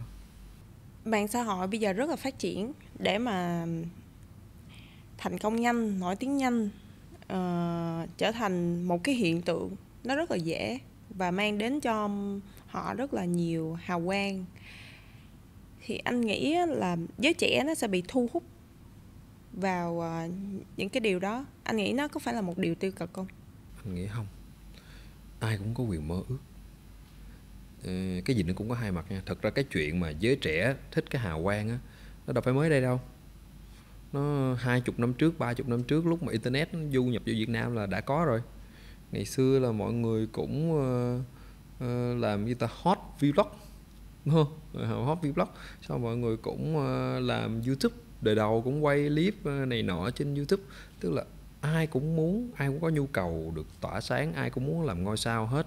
Chẳng qua là bây giờ là nó nhanh hơn thôi tức là con đường nổi tiếng nó nhanh hơn kiếm tiền nhanh hơn thì nó tiêu cực hay tích cực đó, nó đều có nó đều có hai mặt hết nó cũng sẽ, tức là một cái nền tảng nào đó, nó cũng sẽ có những con người làm những chuyện rất là tiêu cực và sẽ có những con người làm những chuyện rất là tích cực. Thì mình mình mình, anh, tức là anh với em là những con người đã trải qua tất cả những cái nền tảng rồi, những cái nền tảng online rồi, từ blog 360 Yahoo rồi YouTube bây giờ, thì mình cũng đã thấy rồi. Nó đều có hai cái tệp hết. Thì những con người tiêu cực họ sẽ rớt lại. Mình không cần phải quá lên án đâu, tại vì xã hội sẽ đào thải những cái đó nhưng ngày xưa mọi người ờ, mọi người có nhớ ngày xưa có những cái tên rất là tiêu cực ở trên trên Facebook không? Là mấy cái clip mà chửi nhau xong rồi cái gì đó. Bây giờ những cái tên đó là không ai nhớ hết hay là trên trên YouTube ngày xưa có là 24 giờ làm chó làm mèo thử thách rồi chọi ờ, ba chọi mẹ vậy đó. Bây giờ tất cả những cái tên đó đã bị đào thải rồi. Ừ. tức là mình mình không cần phải đánh giá nó là tiêu cực hay tích cực. Thời gian. Đúng rồi thời gian xã hội sẽ đào thải nó. Những người có thực tài họ sẽ trở thành họ sẽ tồn tại trong cái nền tảng đó. Ví dụ như youtube. Từ youtube mình có ai mình có quỳnh lập, mình có bb trần, mình có duy khánh, mình có pháp tv mình có phở đặc biệt, đúng không? Thời gian sẽ trả lời. Và những người đó bây giờ là ai? Những người đó bây giờ là ngôi sao, đúng không? Họ đều là những ngôi sao mà được săn đón vào top 1 trong ngành này. Và và tại vì họ làm gì? Tại vì họ làm, họ có thực tài, họ sẽ tồn tại. Còn những con người mà xàm xàm xàm xàm xàm xàm, nhảm nhảm, chủ tịch giả nghèo này nọ, bây giờ không còn một ai nhớ. Bây giờ có ai nhớ tới cái mặt của cái người đóng mấy cái cái đó không? Đó đó là đã có câu trả lời cho nên là tích cực hay tiêu cực mình không cần phải đánh giá và nó đều có hai mặt hết. Dự định của anh trong 2024 là gì? Dịnh của anh 2024 thì ờ, chắc chắn là làm phim rồi. Mỗi năm anh sẽ làm ít nhất một bộ phim thì vẫn sẽ là làm phim thôi. Và anh sẽ ờ, tham gia nhiều show hơn ở trên truyền hình hơn. Tại vì ờ, truyền hình nó vẫn là cái gì đó nó mainstream nó gần với khán giả hơn rồi tiếp theo nữa là mình sẽ làm một cái gì đó rất là riêng. Anh chưa biết làm cái gì nhưng mà anh sẽ tức là có thể là làm một cái series gì đó đi trải nghiệm hoặc là anh sẽ chăm sóc. Nói chung là anh sẽ optimize cái đó gọi là tối ưu tối ưu cái cái cái kênh của anh lại hơn. Tại cái kênh của anh năm vừa rồi là anh bị anh bị cuốn theo thời cuộc ừ. là cái gì hot cái mình up cái gì hot mình up nó không có một cái cái cái content nó nó tổng thể nó tổng quát hơn. Thì bây giờ anh anh sẽ làm một cái series gì đó nó nó nó đàng hoàng hơn nó chuyên nghiệp hơn. Nhưng mà hiện tại cũng chưa biết là gì nó cũng vấn đề content như là vấn đề đau đầu. Nãy giờ em nghe anh nói à, thì em cảm thấy anh là một người rất là thích học hỏi học cái này học cái kia tìm kiếm cái này tìm kiếm cái kia để trao dồi bản thân của mình của mình. Hiện tại anh có học gì không? Có chứ. Học gì hiện ạ? tại ờ, anh đang coi. nói ra thì ờ, chắc mọi người cười đang học nhảy học hát thực ra là câu chuyện là học nhảy là tại sao là tại vì ờ, hay năm- mốt muốn làm ờ, podcast vừa ngồi hát vừa chữa lành. À. Câu chuyện học nhảy là tại vì hồi xưa mình đã từng đi nhảy rồi xong rồi bây giờ tới gần mười mấy hai mươi năm mình đâu có nhảy đâu vậy bây giờ mình thay vì đi tập gym tất cả mọi người đều khuyên anh đi tập gym hết nhưng mà anh rất ghét tập gym. Đang học nhảy học hát. học nhảy xong rồi bây giờ mình rảnh quá mình bắt đầu mình có nhiều thời gian hơn cho bản thân rồi thì bây giờ mình học hát. Ừ. Ừ. học hát gì vậy sắp làm ý ca là sĩ tại thôi. anh xưa giờ anh chưa anh xưa giờ anh chưa có bao giờ hát hết trơn á. Xưa giờ anh anh tập trung rất là nhiều cho giọng của mình. Xong rồi chỉ để ờ, đọc ờ, đọc gọi là voice up cho mấy cái phim. Anh bài nhạc rap của anh là anh có hát mà? Còn đâu hát đâu. Rap chậm. Thì rap thôi. Thì chậm chút xíu nữa thành rap melody. Đúng chút rồi, xíu nó, nữa thành nó hát. vẫn nó vẫn là rap xong rồi mình mình muốn thử coi là làm ca sĩ thì hát như thế nào thì để mình hát thôi. Mình học thử cho biết thôi. Thì học thấy cũng vui sau đó là tập trung đi học. Mà không mà lúc mình đi học thì ờ, cái cái cô dạy cô hỏi là có định đi hát không? Tại vì người ta sẽ dạy theo cái nhu cầu của mình cái nói không không không bao giờ nghĩ chuyện đi hát hết trơn. Nhưng mà mình muốn học để coi là tại vì mình biết. anh thấy bây giờ là mấy bạn mấy bạn trẻ trên mạng á, người ta phân tích giọng hát của ca sĩ giống như là chuyên gia vậy và họ nói rất là nhiều từ khóa mà mình không hiểu. Thì mình muốn đi học để mình hiểu mấy cái đó hơn thì nó nó cũng bổ trợ cho mình mà. Sau này mình làm MV mình cũng hiểu được là ca sĩ họ truyền tải cái gì vô trong cái đoạn đó. Xưa giờ mình chỉ nghe ở góc nhìn của khán giả góc nhìn của đạo diễn nhưng bây giờ ồ mình học hát mình nghe được ờ góc nhìn của một người làm nhạc là như thế nào. Các bạn đang lắng nghe podcast Nhật ký ban công của Minh Tú. sau tất cả những gì anh nói anh nghĩ anh là một người giỏi hay là may mắn? Sau tất cả như hồi nãy nó nói là may mắn và mình giỏi trong cái phân khúc may mắn đó. là sao? Rõ hơn. Ví dụ nha. Ờ, nói về đạo diễn anh không phải là một người giỏi nhất trong giới đạo diễn này cũng không phải là top 1 nhưng anh thuộc thế hệ may mắn. Ừ. thế hệ may mắn anh anh có con đường làm đạo diễn của anh có rất nhiều may mắn. Thế hệ của anh là thế hệ công nghệ nó mới phát triển. Ừ. và không có cái cái trường lớp nào bắt kịp hết. Và tụi anh phải là thế hệ tự mày mò. Cho nên là gần như không có cạnh tranh cạnh tranh rất ít. Đếm trên đạo diễn thời của tụi anh, đếm trên đầu ngón tay. Đó đó là một cái may mắn, đúng không? Chứ nếu mà bây giờ nha, bây giờ mà bỏ anh xuống với lại cái mấy cái lứa mà Gen Z á, là thua nha. Đạo diễn Gen Z bây giờ nó quá giỏi đi. Ví dụ như là Phương Vũ hay là Thóc Đủ, nó quá giỏi đi. Thứ hai nữa là bắt đầu là vô con đường làm phim, làm làm web drama. Đó, tự nhiên cái thời đó tự nhiên bắt đầu mọi người rộ lên. Web drama, và đạo diễn làm web drama nó có vài cái tên à. Có phải là mình may mắn không? Chứ còn bây giờ thì có rất là nhiều option thì tự nhiên mình đều mình đều may mắn mình tất nhiên là mình cũng phải có cái cái gọi là tài năng cái kỹ năng để để nắm được lúc đó. Nhưng mà để mà giỏi xuất chúng thì mình không không phải. Em thấy anh giỏi á giỏi ở cái mặt gọi là quyết đoán và biết rõ mình muốn gì. Và khi mà anh có mục tiêu anh rất là quyết tâm cho cái mục tiêu đó của anh. Ừ. từ lúc anh còn bé cho đến thời điểm hiện tại luôn. Với lại là anh anh thấy anh anh có một cái um, có một cái gọi là gì ta? Ừ, gọi là nhẫn tâm sẵn Hả? sàng bỏ cái cái cũ. sẵn sàng thôi bỏ. từ nhẫn tâm. Đó gọi là gì ta? Anh không biết gọi là không cái em gì, không nghĩ là nhẫn tâm. giống như là anh anh đã dứt khoát. Kiểu là mình biết rõ là mình không còn thích nữa nó không còn phù À, hợp với này nữa. nó- cái đó là đó là dứt khoát nhưng mà có thể gọi là nhẫn tâm của nó. Tức là trong mỗi giai đoạn con người là mình phải mình anh nghĩ là trong cuộc đời ai cũng phải có những lần nhẫn tâm như vậy á là ví dụ như anh anh làm youtube đi anh làm youtube làm content creator anh làm cho phở làm cho bb trần. Anh đã làm rất là lâu và rất là thành công mình có thể làm tiếp mà. Nhưng anh biết là mình cần phải thay đổi. Và mình anh sẵn sàng là bỏ hết tất cả những cái công sức mình xây dựng bao nhiêu năm để bỏ hết youtube luôn để nhảy qua một cái lĩnh vực mới. Cái đó không gọi là dứt khoát. À, lộn, cái đó không gọi là nhẫn tâm. Em nói rõ đó là anh là một người giỏi ở việc quyết đoán và anh rất là giỏi trong việc hợp thời á. Anh không nhìn được tương lai nhưng mà anh nhìn được cái điểm gần là ok. Sắp tới trong cái con đường của mình đang chọn nó sẽ hot cái gì? Giống như là anh từ phim ngang anh nhảy qua phim dọc. Rõ ràng anh coi nhiều và anh biết được rằng là cái phim dọc đó nó sẽ du nhập vô Việt Nam mình. Và anh hợp thời thì em không nghĩ đó là một nhẫn tâm. Mà rõ ràng là anh hợp thời và anh thích nghi mỗi lần anh anh anh từ bỏ cái đó anh cũng cũng đau buồn một thời gian. Thì kiểu mình nhìn lại cái công trình của mình đã Tiếc, xây rất là ừ. nhiều năm mình mình tiếc nhưng mà mình không thể duy trì được. Mình giống như cái câu chuyện là ngày xưa anh anh kể chuyện á anh có những cái series kể chuyện á xong rồi bây giờ anh anh anh bỏ hoàn toàn luôn. À, giống như em nói cái group fan đó là tới năm mươi mấy ngàn người á là thậm chí có những người người ta trả tiền mỗi mỗi ngày để xem luôn. Ờ, nhưng mà bây giờ mình mình dứt khoát mình mình off mình off liền luôn thì đó là thật ra lúc đó anh cảm thấy anh rất là nhẫn tâm. Anh anh để họ lại. Nhưng mà anh biết là nếu mà anh còn vương vấn cái đó hoài anh sẽ không làm tiếp được. Anh không làm được những chuyện lớn hơn nữa. Nhưng mà em nghĩ một khi người ta đã yêu quý anh á và theo dõi con đường phát triển sự nghiệp của anh á thì những cái bước tiếp theo của anh nếu mà anh đạt thành công thì người ta cũng sẽ sẽ đi theo mình. Người ta sẽ hiểu được cái cá tính của anh là anh là người thích chinh phục những cái um, mới. Anh là người thích thích nghi thích hội nhập thích hợp thời. Nhưng mà cái điều đó cần thiết nha. Đối với em là nó cần thiết. Mình cũng không có nên quá cố chấp cho một cái gì đó mà mình đã nhìn rõ được là cái cơ hội nó đang ở phía trước. Em là một người cũng khá là thực tế. Với lại là hồi nãy anh nói một câu mà em thấy đúng là anh em mình sinh ra trong một cái thời khá là may mắn. Tại mình vừa được trải nghiệm phim ngang nhưng mà Phim được dọc. trải nghiệm phim dọc nhưng mà ai biết tương lai nó trở lại phim phim ngang rồi sao? Mà hoặc là sau này ờ, phim sáo mình không biết được. cái thế hệ cái thế hệ của mình thế hệ may mắn á, may mắn hơn Gen Z rất là nhiều là mình là cái gì mình được đi đầu hết á. Lần đầu tiên sử dụng Yahoo lần đầu tiên sử dụng YouTube lần đầu tiên sử dụng Facebook lần đầu tiên sử dụng TikTok. Thì cái đi đầu rất là lợi là không ai xài hết.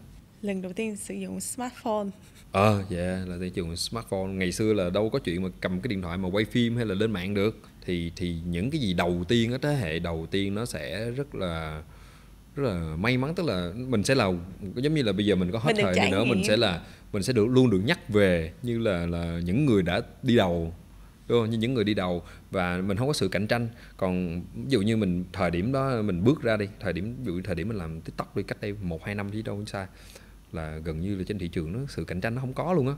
Còn bây giờ em tưởng tượng coi một mét vuông là có năm tiktoker. Là sự cạnh tranh kinh khủng lắm. Không trong mét vuông này chỉ có một tiktoker. Em có tiktoker mà em cũng có kênh tiktok mà. mà không có lại em chưa em chưa em em em chưa có sáng tạo nội dung trên tiktok nhiều. Ờ, em toàn là sử dụng những cái um, có sẵn rồi có sẵn rồi em tự edit lại thôi. Em em chưa có thời gian. Thực ra cũng khó lắm. Tới giờ anh cũng mỗi lần mà suy nghĩ về kênh tiktok thì anh cũng chưa biết phải làm gì. Ôi nó đốt năng lượng và nó đốt chất xám mình kinh khủng. Tại vì nó nhanh mà. Nó nó nó xài nhanh á. Nên là nó nó lên rất là nhanh tức là nó nó vụt rất là nhanh và nó đi xuống cũng rất là nhanh.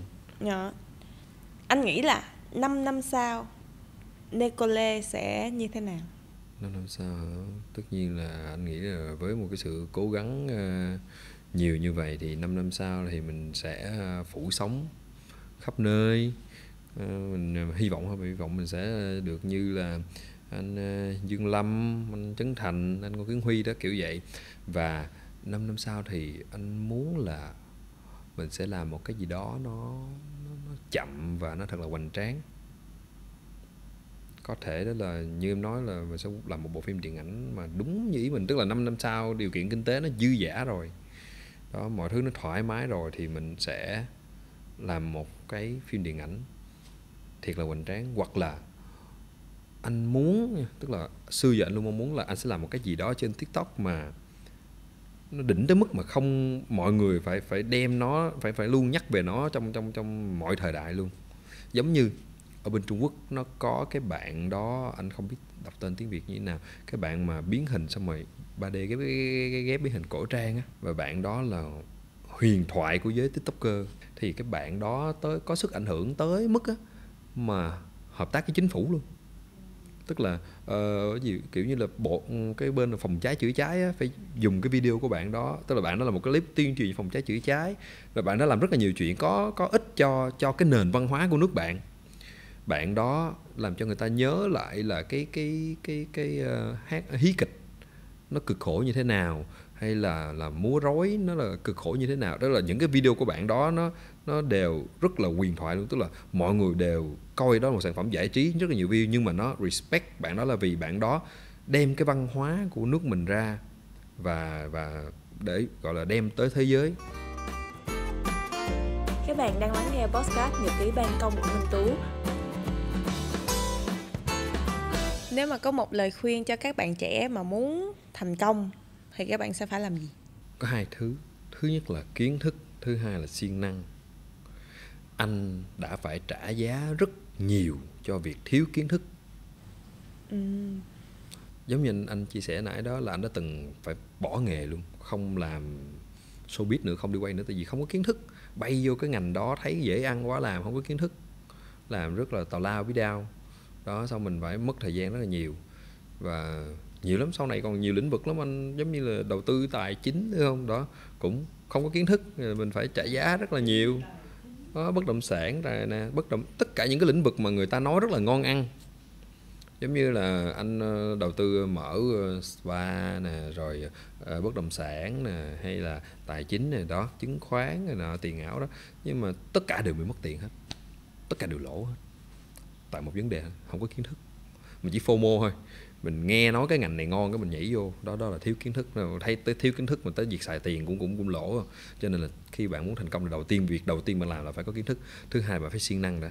Bạn có kiến thức mà bạn không thực hành thì nó cũng sẽ vô dụng thôi. Và kiến thức đó, nó là thay đổi theo theo ngày theo giờ.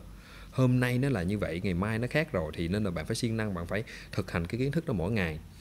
Anh tới thời điểm bây giờ nha anh anh làm đạo diễn đã hơn 10 năm rồi. Tới bây giờ anh vẫn học mỗi ngày luôn á anh vẫn học từ trong những cái uh, những những cái thành phẩm những cái sản phẩm của của đàn anh hoặc là từ nước ngoài. Hay và thậm chí anh phải học những bạn trẻ về những cái trick những cái tip mới về cái công nghệ. Em biết máy quay thì thì điện thoại mỗi năm ra một cái thì máy quay nó cũng vậy. Ừ.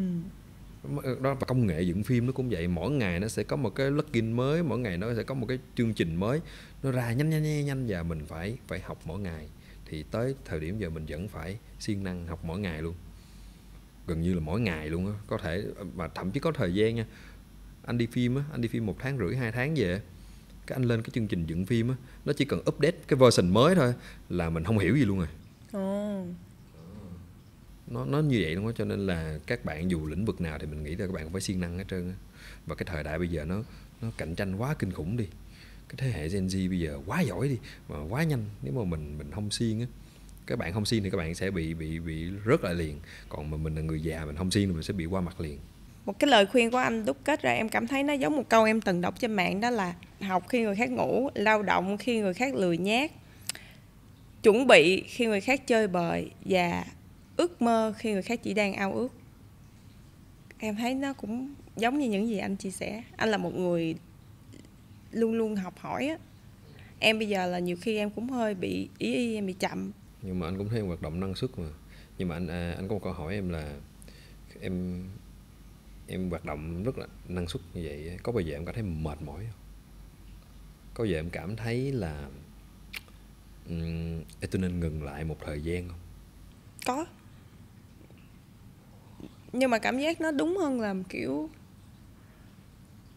mình bị mất định hướng mình bị lạc lõng mình không có tìm ra được một cái gì nó mới và đột phá hết. Có nghĩa là mỗi ngày mình cũng làm những công việc như vậy. Ví dụ như lĩnh vực của em thì chỉ có người mẫu thôi. Người mẫu hơn nữa hay anh làm uh, như là người training anh làm giám khảo.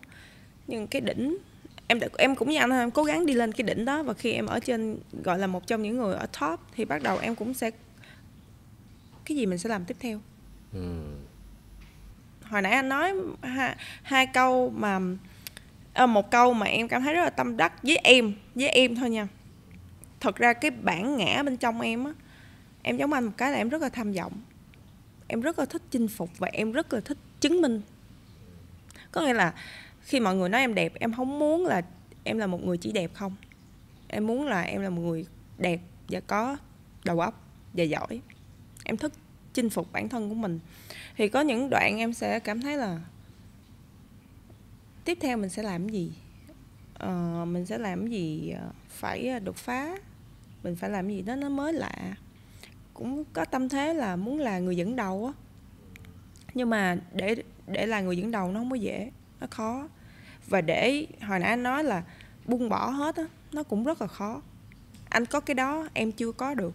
Em sợ lắm em ngại em không biết ừ nếu bây giờ mình đi tiếp theo mình sẽ đi như thế nào? Mình bắt đầu từ đâu? Uh, định hướng của mình ra sao? Nếu mình bỏ hết mình làm cái này mình có thành công hay không? Nếu mình thất bại thì mình sẽ như thế nào? Nó không phải nói về mặt về kinh tế không mà nó nói về cái tôi của mình. Tại vì mỗi khi thất bại mình sẽ cảm thấy là trời sao mình dở vậy? Sao mình tệ như vậy? Hồi nãy những cái mà anh chia sẻ đi anh có rất là nhiều thất bại bởi vì anh thiếu kiến thức em cũng giống như anh em cũng thất bại nhiều thứ không trong lĩnh vực của em thôi. Những lĩnh vực khác như kinh doanh hoặc đầu tư cũng có thất bại. Mà cũng có nhưng mà mỗi lần thất bại đó thì đúng là cũng học ra rất là nhiều bài học. Lúc đó khi mà em đầu tư sai một số tiền em tâm sự với bạn em với một cái mong muốn là bạn em sẽ an ủi. Nhưng mà bạn em nói em là hên. Uh-huh. em nói sao hên thì bạn em mới nói là trời học bài học có nhiêu đó tiền là quá hên. Còn đỡ hơn bây giờ không học mai mốt đi đầu tư sẽ thua một số tiền nó rất là bự hơn cái số tiền bạn đang thua. Ừ. thì lúc đó mình cũng thấy là ừ cũng đúng. Đối với mình thì số tiền đó nó nó nó nó cũng lớn ở thời điểm hiện tại với mình. Nhưng mà rõ ràng nếu như mình không học bây giờ mình không hiểu mình cứ chạy theo trend mình cứ đi vô với không có kiến thức gì hết và chỉ nghe người ta thôi thì rõ ràng là mình sẽ chết sớm hay muộn cũng sẽ chết. Thì từ đó thì bắt đầu em cũng bắt đầu học hỏi, nhìn nhận lại bản thân của mình, xong rồi ờ, cũng bắt đầu ờ, suy nghĩ để ờ, xem định hướng tiếp theo của mình là gì. Và thay đổi thì phải chuẩn bị hành trang nó kỹ. Tại vì sau 30 thì mình không có quá nhiều thời gian để mình sửa lỗi. Nên là mọi đường đi, mọi cái bước mình đi nó phải chắc ít nhất là ví dụ mình té mình có đủ khả năng để uh, mua băng keo dán vô hoặc là đi khâu chứ mình sẽ không có thể nào mà đi uh, nhờ một người nào khác. Uhm, anh không biết như thế nào nhưng mà em có bao giờ cảm thấy bị ờ, bị cô đơn trong cái lĩnh vực của mình không? Hồi xưa có chứ. Giống như anh thì anh trải qua cái tới bây giờ vẫn bị là bị cô đơn trong lĩnh vực của mình. Là um, mình làm đạo diễn em có thấy ít khi này thấy đạo diễn chơi với đạo diễn không? Đạo diễn cũng không có collab với nhau. Mà anh ấy làm, tại đạo diễn cái tôi rất là lớn. Thứ hai nữa là ví dụ anh làm tiktok đi, là cũng có mình. Tức là mọi người thấy ừ có cái nhóm này cùng nhau làm những cái cùng nhau làm, nhưng mà làm tiktok cũng có một mình. Và cái thể loại anh làm nó, cái gì nó cũng là, nó đều là mới nhất mới nhất á, cho nên là không có ai làm chung hết trơn á. Đó đó đôi khi làm phải ý là ước gì có một người đồng trang lứa để để mình biết được là mình đúng sai như thế nào để người ta chỉnh nhiều khi thấy uh, mình mình hơi bị cô đơn nhưng mà mình mình biết đâu đôi lúc mình mình cảm thấy vậy nhưng mà mình cũng phải làm thôi. Nhưng mà anh nghĩ cái đó là chỉ là một cái mặc định của anh không?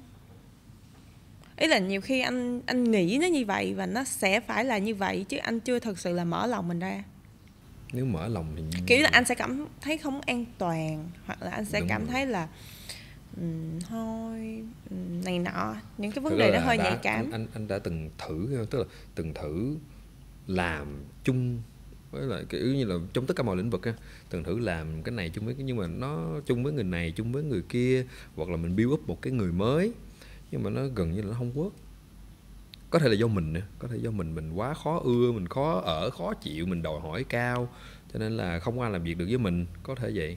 Nhưng mà anh hỏi rất là nhiều người gần gần gần cái cái cái lĩnh vực gần giống mình thì anh giống như em vậy đó.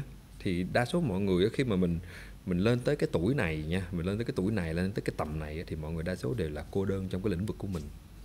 Cô đơn trong cái lĩnh vực nha chứ không phải là cô đơn mà không có bạn bè. Không. Uh-huh. em thì không giống như anh hỏi à, mấy ông nhạc sĩ đi gọi là mấy ông thì nó hơi già nữa mấy mấy mấy người nhạc sĩ mà cỡ cỡ vậy thì họ đều làm nhạc một mình hết. Nhưng mà em em để em nhìn cái lứa Gen Z đi, đâu là một mình đâu. Cái lứa Gen Z, ví dụ như là một bạn rapper, một bạn singer nổi tiếng lên đằng sau lưng là một team rất là đông. Đó, hay là một một cái team làm phim vậy, một bạn đạo diễn lên là đằng sau lưng họ là một cái team rất là đông nha. Tại vì là chắc có thể là do tư duy của mình không chịu thay đổi á ví dụ như em hồi xưa em sẽ hiểu ý của anh. Nhưng bây giờ anh trả lời anh hỏi em em trả lời là không. Tại vì em sẽ không đi đến được bây giờ nếu như em đi một mình. Em không thể nào làm podcast nếu em một mình. À, kể cả trong những cái mối quan hệ ở trong nghề của em á. Giống như là hồi xưa đi em biết là mỗi lĩnh vực thì nó sẽ có những cái khó riêng nhưng mà lĩnh vực người mẫu hoa hậu nó càng khó nữa cái job nó ít. Con gái thì con gái với nhau mà đẹp nè rồi uh, địa vị danh hiệu nó cũng sẽ tạo nên một cái sự ganh đua vô tình.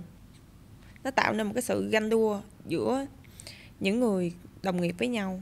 Từ đó mọi người sẽ trở thành hơi uh, hơi uh, kiên dè ừ kiên dè rồi rụt rè rồi không có luôn nghĩ về đối phương là ừ không tốt. Nhưng mà sau này em ngộ ra rằng nó không phải vậy.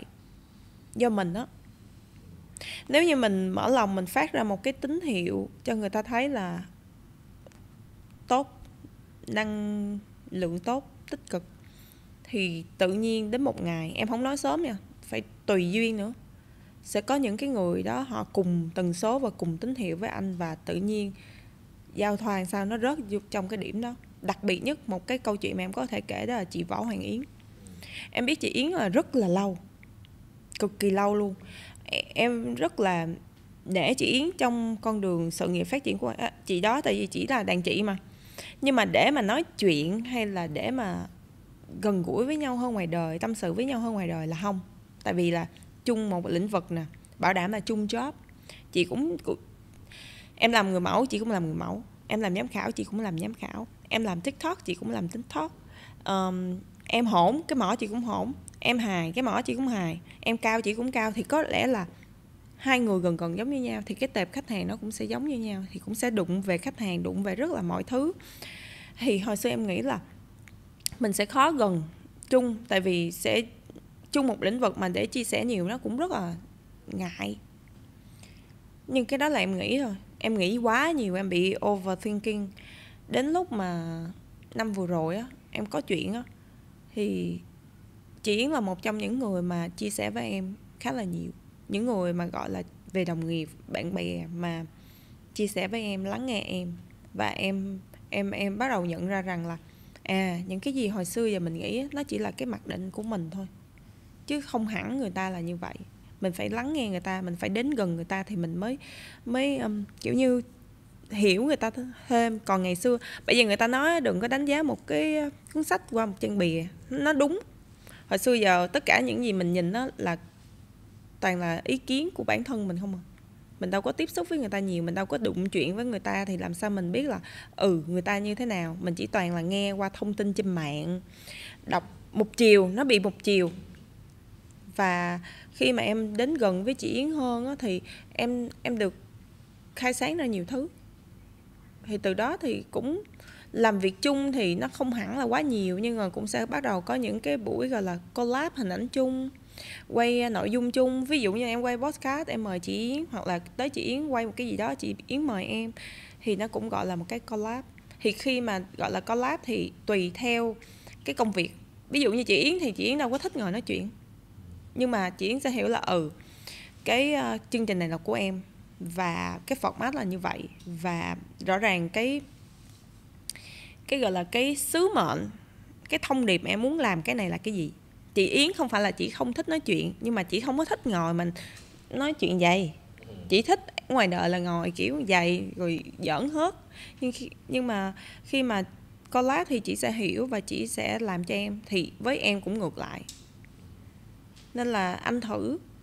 Có thể là một ngày nào đó mở lòng ra thì tự nhiên mình sẽ gặp được đúng những người cùng tần số. Em em rất là tin vào tần số nha.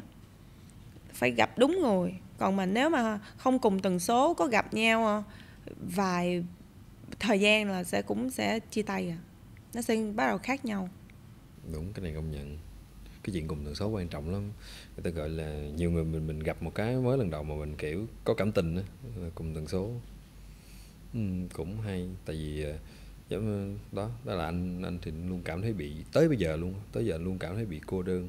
Nhưng mà gần đây thì bắt đầu là công việc nó nhiều bắt đầu thì có nhiều người nhảy vô rồi. Thì ờ, không biết tương lai sao, nhưng mà gần đây thì mình cũng hy vọng là mọi người sẽ quớt với nhau nhiều hơn. Nhưng mà cái đó nó không có sai, anh biết tại sao không? Tại vì mình thời thời xưa tụi mình là thời 9x đời đầu, tất cả mọi thứ tụi mình tự làm trong trường học này nọ, tụi mình ngày xưa đâu có gọi là, kiểu như là, học nhóm hay là làm bài thuyết trình chung với nhóm đâu. Tất cả mọi thứ là mình tự làm, xong rồi ví dụ mình đi làm trễ, mình không làm bài được cái mình sẽ chép bài bạn. Không có kiểu mà là ngồi chung để để ra một cái, gọi là không có teamwork, không có cái văn hóa teamwork nhiều như thế hệ Gen Z bây giờ. Tại vì Gen Z là được cập nhật phổ cập rất là nhiều từ nước ngoài, mạng xã hội, rồi các bạn được học ở một cái um, phương trình giáo dục mới. Đòi hỏi là sẽ phải có teamwork. Từ đó các bạn sẽ theo cái văn hóa đó và các bạn hiểu. Nên là khi các bạn bắt đầu lớn lên như vậy thì các bạn, nó nó đi theo nguồn. Từ các, cách các bạn làm, các bạn sẽ thích làm chung với nhau. Mà anh thấy có ờ, khi mà có, tức là làm làm nhiều người nha, thì nó có một cái hay là sẽ có một cái đầu lạnh. Chứ còn mà để mình, một mình mình làm á, là mình sẽ dễ bị bị lú mình hay bị lúng vô một cái hướng đó làm hoài. Còn khi mình làm nhiều á là ít nhất trong đám sẽ có một cái đầu lạnh để mà nhìn ra vấn đề. Đó đó là cái mà mà anh luôn muốn muốn làm nhưng mà xưa giờ không có. Xưa giờ phải tự mình tự mình nhận ra vấn đề mà. Có cái gì cũng có một mình mình đó. Dù khi anh chưa mở lòng á. Thật ra sao ta? Nhưng hồi đó anh cũng anh cũng có team mà nhưng mà đa số cái cách anh làm việc với team nó chỉ là hình Nhưng nón á hiểu anh không? chịu thay đổi không? Hả? cái vấn đề là anh có chịu thay đổi không? Thì ví dụ anh- như là anh làm việc với team. Ừ. đúng không? Em đang ví dụ nha anh làm việc với team. Anh anh là leader đây anh là trưởng nhóm. Anh anh có phải là một người chịu thay đổi hay không? Nó rất là quan trọng. Ví dụ như như em đi. Em đã là leader em sẽ nói là cốc này nó ở đây là nó sẽ ở đây. Nhưng mà những bạn trẻ bạn sẽ có những cái góc nhìn của các bạn. Và các bạn nói không. Em thử nghĩ là chị để qua đây đi nó sẽ đẹp hơn nhưng mà hồi xưa em sẽ là không ừ, tôi có nhiều kinh nghiệm tôi gì rồi tôi thấy cái này là đẹp nhất. Ừ. nên nó phải là lại vậy. Nhưng mà sau này em thấy nó không đúng. Rõ ràng là các bạn sẽ có những cái góc nhìn của các bạn. Mình chưa cần biết nó là đẹp hay không đẹp tốt hay xấu nhưng mình phải thử mình phải cho các bạn cơ hội và cơ và mình cơ hội để mà mình giao thoa Ừ.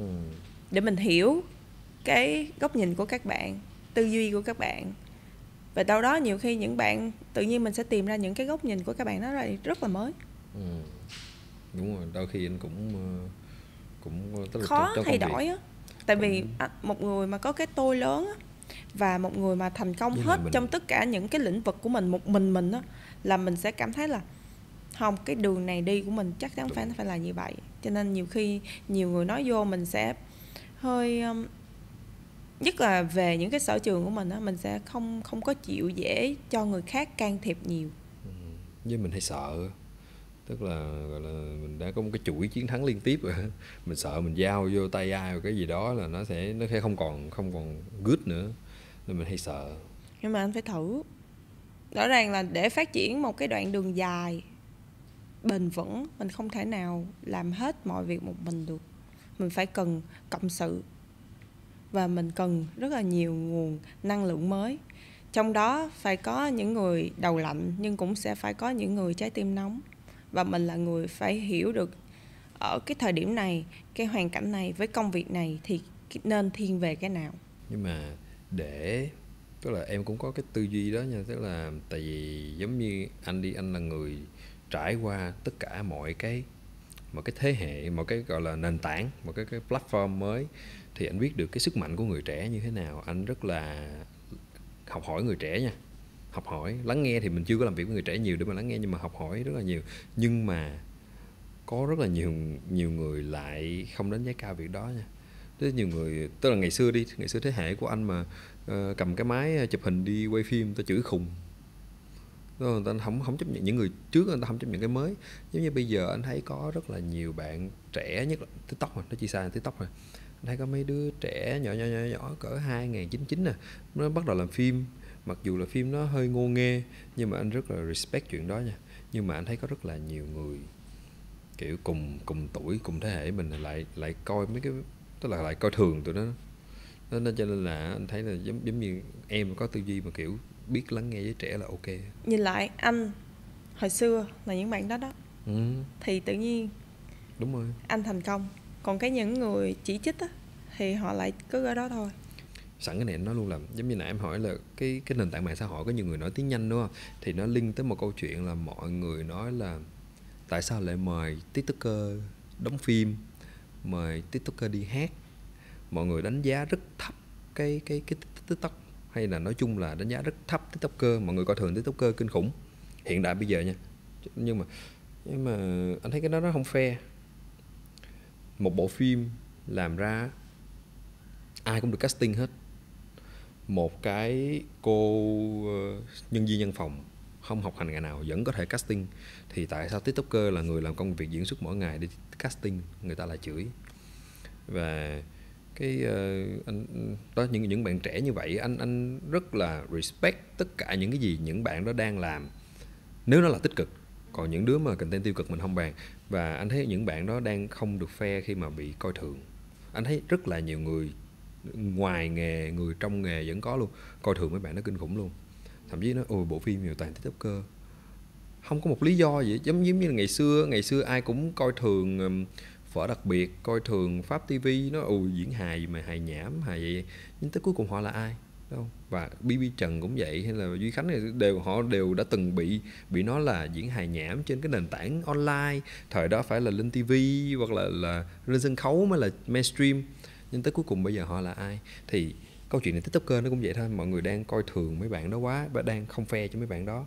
Em sẽ có hai ý em muốn nói. Ý đầu tiên là um, những cái chỉ trích đó đôi khi nó sẽ tạo nên động lực cho các bạn để các bạn phải cố gắng thật là nhiều để mà, giống như hồi nãy anh nói đi, nó sẽ sàng lọc ai là người thật sự có tài năng, ai là người thật sự có cái giá trị và đam mê và đeo đuổi đúng nghĩa như là, ví dụ như từ um, nghề tiktoker đi qua làm diễn viên.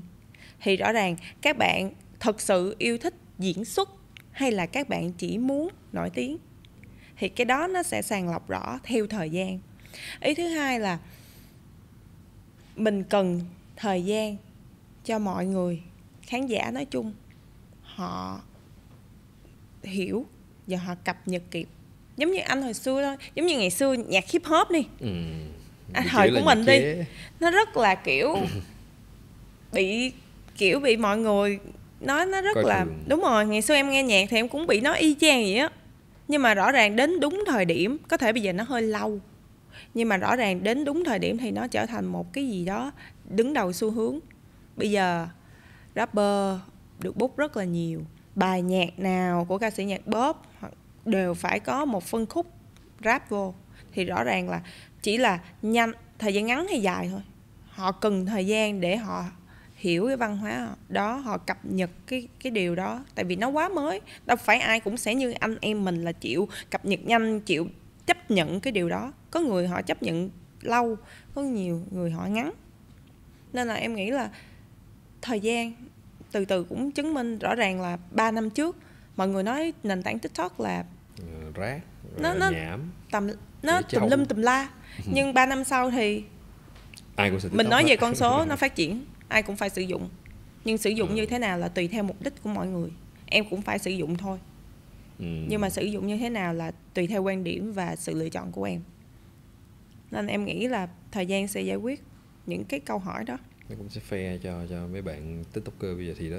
Ờ, những bạn trẻ mà nghĩ đang có cái podcast này mà đang làm tiktok thì đã có câu trả lời cho tương lai. Em thấy bây giờ các bạn tiktoker cũng bắt đầu đi ờ, diễn ờ, sân khấu bắt đầu đi ờ, đóng phim bắt đầu có những bạn làm podcast có những bạn làm ờ, qua một cái lĩnh vực khác. Nhưng mà rõ ràng khi các bạn làm những lĩnh vực khác các bạn không giỏi. Chắc chắn các bạn phải bắt đầu đi học. Tại vì ở trên tiktok nó khác đó là sở trường của các bạn đó là cái khu vực của các bạn nhưng bắt đầu qua cái lĩnh vực khác nó là đi qua sân chơi khác rồi. À, cái, vậy bạn- cái bản lĩnh- áo đó nó- qua cái sân chơi khác là cái áo nó quá to rồi. Đúng rồi không phải ví dụ như mình đi ra thời tiết nắng thì mình phải che nắng nhưng mình phải lựa chọn cái loại vải nào nó mát chứ không thể nào bận đồ mùa đông đi ra nắng được thì rõ ràng khi bạn bước qua một lĩnh vực khác, bạn sẽ hiểu được những cái giá trị của lĩnh vực đó, những cái khó khăn của những người hoạt động trong lĩnh vực đó. Nó không phải chỉ là ừ đi lên diễn diễn diễn là thành diễn kịch được. Hoặc là đi vô ngồi trước máy quay diễn khóc là gọi là diễn viên được. Cho nên là các bạn cũng phải bắt đầu lại từ đầu. Quan trọng là các bạn dám hay không và các bạn có kiên trì với điều đó hay không.